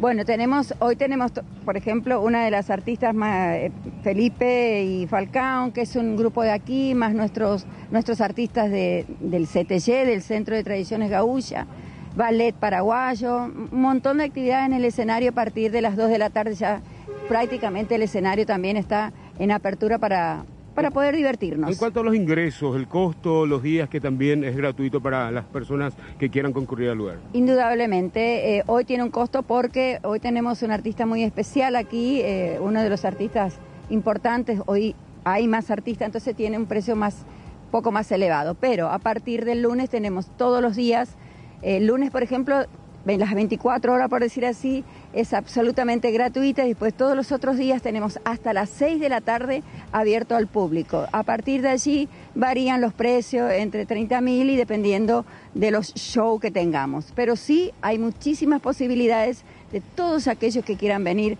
a la Expo Santa Rita, porque es muy importante destacar esto, Joel. Aquí esta es una vidriera del potencial que tenemos en nuestro país, tanto a nivel industrial como el agronegocio, como los servicios que están dando. Creo que es muy importante esta vidriera, por eso es que queremos agradecer al Sistema Nacional de Televisión que todos los años nos están apoyando fuertemente en este emprendimiento. Bueno, muchas gracias. Vamos a pasar a este lado. Eh, vamos a hablar también con el representante de la Asociación Rural del Paraguay, el señor Joacil. ¿Cómo estás? Buen día. Buen día, yo soy el presidente de la parte del sector ganadero acá de la Expo Santa Rita y también desde la fundación estamos participando. Entonces siempre estamos juntos. Hace 26 años que estás aquí entonces. Vi- 26 trabajando. años que estoy acá en la Expo trabajando, ¿verdad? En la parte de agronegocios, en la parte de ganadería, hoy qué traemos de novedad de repente para toda la gente. Bueno, nosotros tenemos todas la- las buenas cabañas, la mejor principal cabaña del país está acá con nosotros. Y como expositor, eh, que me llama a atención es que esse ano vamos ter gir, é o gir leiteiro, que é muito conhecido por los brasileiros, principalmente, e se é uma raça eh, muito divulgada no Brasil. Mas você sabe que temos também os Nelores, a Godia, temos eh, também ACV, que é um, um expositor que vem crescendo muito, e também temos eh, Viradoce, que é um dos maiores produtor e expositor que temos no país. Bueno, ahí está el, también el representante de la Asociación Rural del Paraguay. Bueno, oficialmente arranca la expo hoy, ya pueden venir las personas a disfrutar de todo lo que se expone en este lugar, la edición número 26, Expo Santa Rita, Carlos y todo el equipo. Bueno, gracias, gracias, Joelito. Hay que recordar que hace dos años, ¿verdad? Dos años ya que eh, teníamos el gran festival en donde bailaban Roberto, eh, era Carlos Troche y Yolanda Para ahí en Santa Rita también, ¿verdad? Así que, bueno, recordamos de esa época, apoyando aquí Impulso Urbano, la Expo Santa Rita. Hace mucho que no nos llevan más, pero bueno, ya Nos alguna vez próxima. recordarán, dirán, queremos que estén ellos aquí, ¿verdad? Bueno, eh, Prada. Ah, no, y fue Eh, y cuando era más Cuando chica. estaba en Busan, eh, en teoría, ¿verdad? Y se convirtió en el himno de pulso. Me matan. Que eh. las comidas que están apareciendo acá, Sí, eh, las- impresionante. impresionante. Había un- una comida que pusieron, no sé si es comida, dice K-I-Q-A, ¿verdad? No es Entonces QA, es me QA. envía eh, un amigo, Harold, me dice... No, pero no es Cagua, es K-I-Q-A. K-I-Q-A, si es que alguien nos puede especificar en ¿Qué es, consiste, porque bueno, recordemos que nuestro hashtag es es paraguayo, nos pueden decir todas aquellas cosas que forman parte de nuestra cultura y rápidamente leo algunos otros mensajes. Mandubicubi, Mandubicubi obviamente, hablamos de esto, Roraku y Rorapirú con huevo. Rorapirú con huevo. Ese no. ¿Qué, ¿Qué es es Rorapirú eso? con huevo? Lora pirú con huevo. Ahí está. ¿Eh? Rora, Lora pirú con huevo. Y dice, ¿verdad? So, apuá el albóndiga es Mirá, me dicen acá, internacional. acá hay una, vamos a corregir el... Y Caudí, este tampoco sabemos qué es. Pere, Perera. No sé. Hay Chipacandoy. muchísimas cosas que vamos aprendiendo a través de la gente del interior que también nos escribe un montón de mensajes, así que vamos a estar también compartiendo más de nuestro hashtag es paraguayo. Pero tenemos más, más novedades. Bueno, ya vamos con Rolando Rodi. Tenemos que hablar de la conmemoración del 150 aniversario de la Epopeya Nacional. Esta mañana nos visitan en Pulso Urbano el historiador Fabián Chamorro y también Claudio Velázquez, promotor cultural, para hablar un poco con relación a la actividad que van a estar realizando en estos días próximos. Ya antes que nada, muchas gracias por visitarnos esta mañana. Buen día, gracias por la invitación, Rolando. Gracias Rolando, Eh, estamos acá gustosos de poder compartir con ustedes. Bueno, ah, estuvieron, se, se- se generó un poco de conflicto con el tema del campo de batalla. Estuvieron visitando ayer, ¿verdad? Vamos a- Ayer, por ayer a Costañú, eh, por el tema del trazado de las torres de la ANDE, eh, estuvimos con los técnicos de la ANDE y por suerte llegamos a, un- una, a una buena, a, una- a buen término nuevamente, como para que eh, se cambie el trazado eh, de, la- de las torres. eh, previo estudio técnico, previa ley eh, que tenemos que sacar, o sea, va a ser un proceso todavía medio largo, pero eh, ya llegamos a un acuerdo con ellos. De hecho, uno de los sitios más, eh, más sagrados y más lindos que tiene el Paraguay es el sitio de la batalla de Costañú. Eh, el año que viene se van a conmemorar 150 años de aquella batalla y bueno, eh, estamos aunando todos los esfuerzos para poder hacer el sitio em, lo más accesible posible de tal forma que uno pueda entender cómo se desarrolló la batalla, la primera, segunda, tercera línea de combate y bueno, poder solucionar todas las cuestiones que anteriormente no se pudieron haber solucionado, ¿verdad? Lo que justamente comentó Fabián. Pero hay solución ya a eso. Sí, ya hay solución. Y, y la buena predisposición también de la gente de la ANDA que entendió que el, que el lugar es un sitio de memoria más importante para nuestro país. Y, y desde el primer momento que nos acercamos a ellos, eh, una, eh, se, muy buena se comenzó a trabajar bien con ellos. Eh, La, la solución sería retirar eso e instalarlo en otro lugar que no afecte específicamente el campo. De, de hecho, es volver a eh, hacer un trazado nuevo que siga funcionando ese, el- lo que ya se colocó, como para que no, no- no se paralice ninguna obra.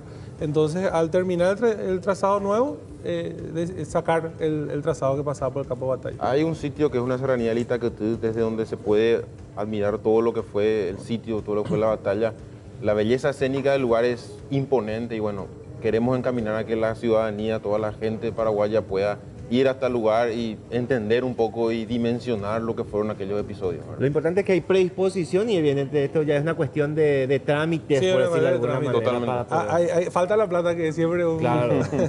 un tema complicado, pero, pero ahí, ahí ya, eh, estamos bien encaminados. Esperemos que el año que viene, con los 150 años de lo que fue la batalla de Costañú, todos eh, nos embanderemos con esa causa y bueno, todos apoyemos a, a- a- a buenas soluciones en lo que es el sitio.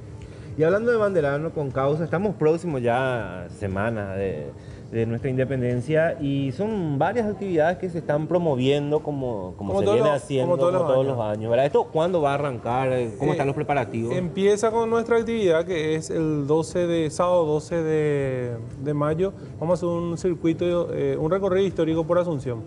Eh, tuvimos experiencias por la cantidad de gente, en- entonces solamente haremos calle Palma, desde la Plaza Uruguaya hasta la casa de Benigno López, que creo que está sobre 14 de mayo, eh, y Palma.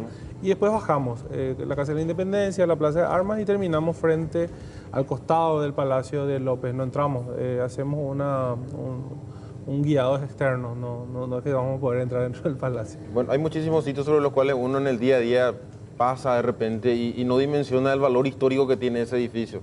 El objetivo de, de estos recorridos es un poco mostrarle a la ciudadanía la historia de esos edificios que representan para que por sobre todo nos podamos sentir orgullosos de nuestra historia. Ese es el fin principal, Rolando. Y esto va a extenderse hasta el, el Hasta, miércoles. eh, pasa, pasa todo inclusive la, la fecha del- de la independencia porque la, la Secretaría Nacional de Cultura estuvo haciendo un cronograma de, de actividades, la, la que va a tener muchas actividades, la Casa de la Independencia por supuesto.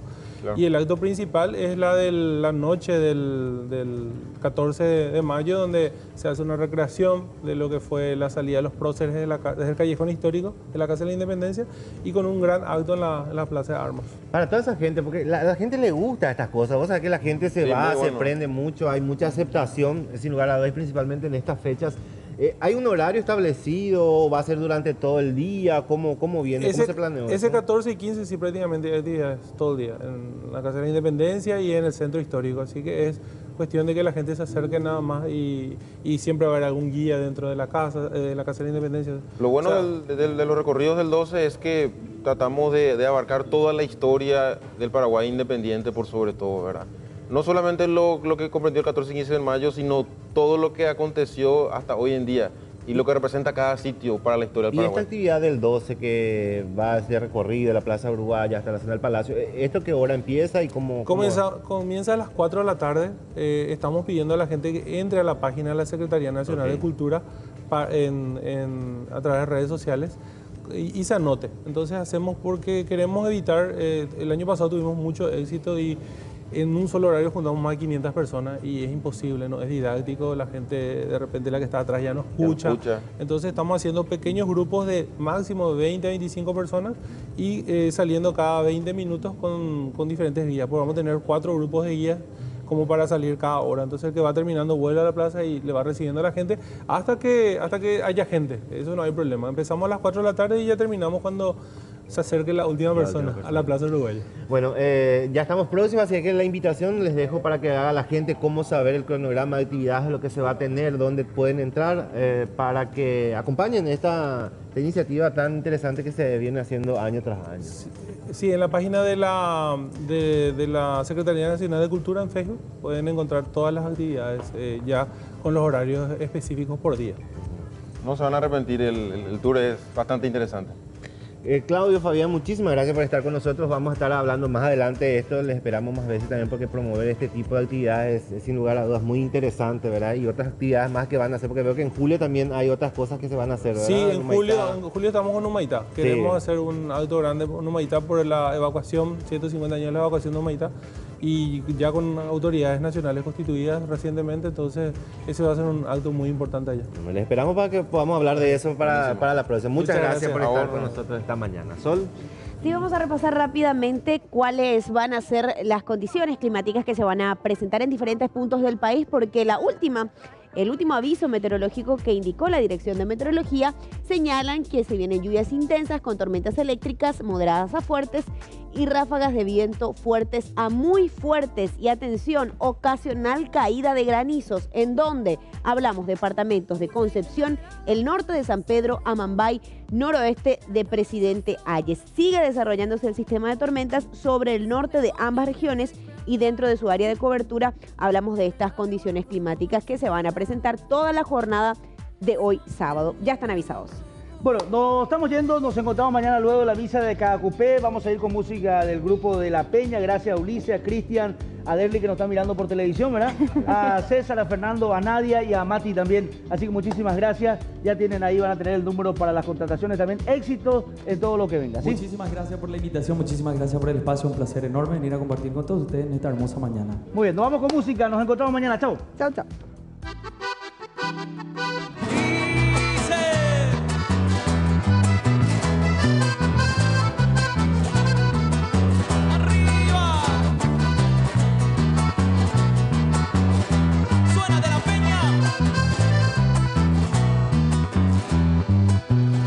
Dulce mi niña, dulce mi diosa, ven cariñosa arroje tu ser.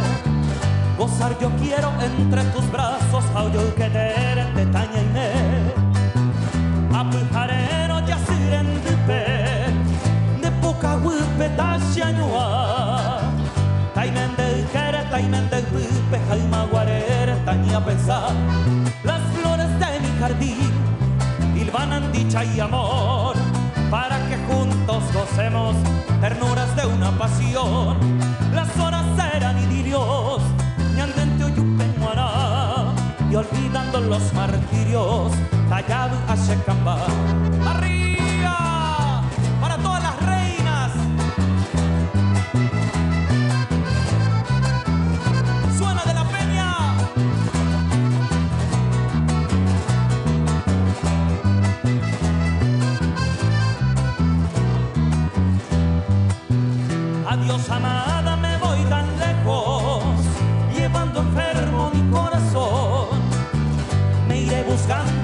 refugios que sean propicios para el amor. A Dios tan solo vengo a decirte, desengañado de aquel amor, pasión impura que tú fingiste para ausentarte con mi dolor.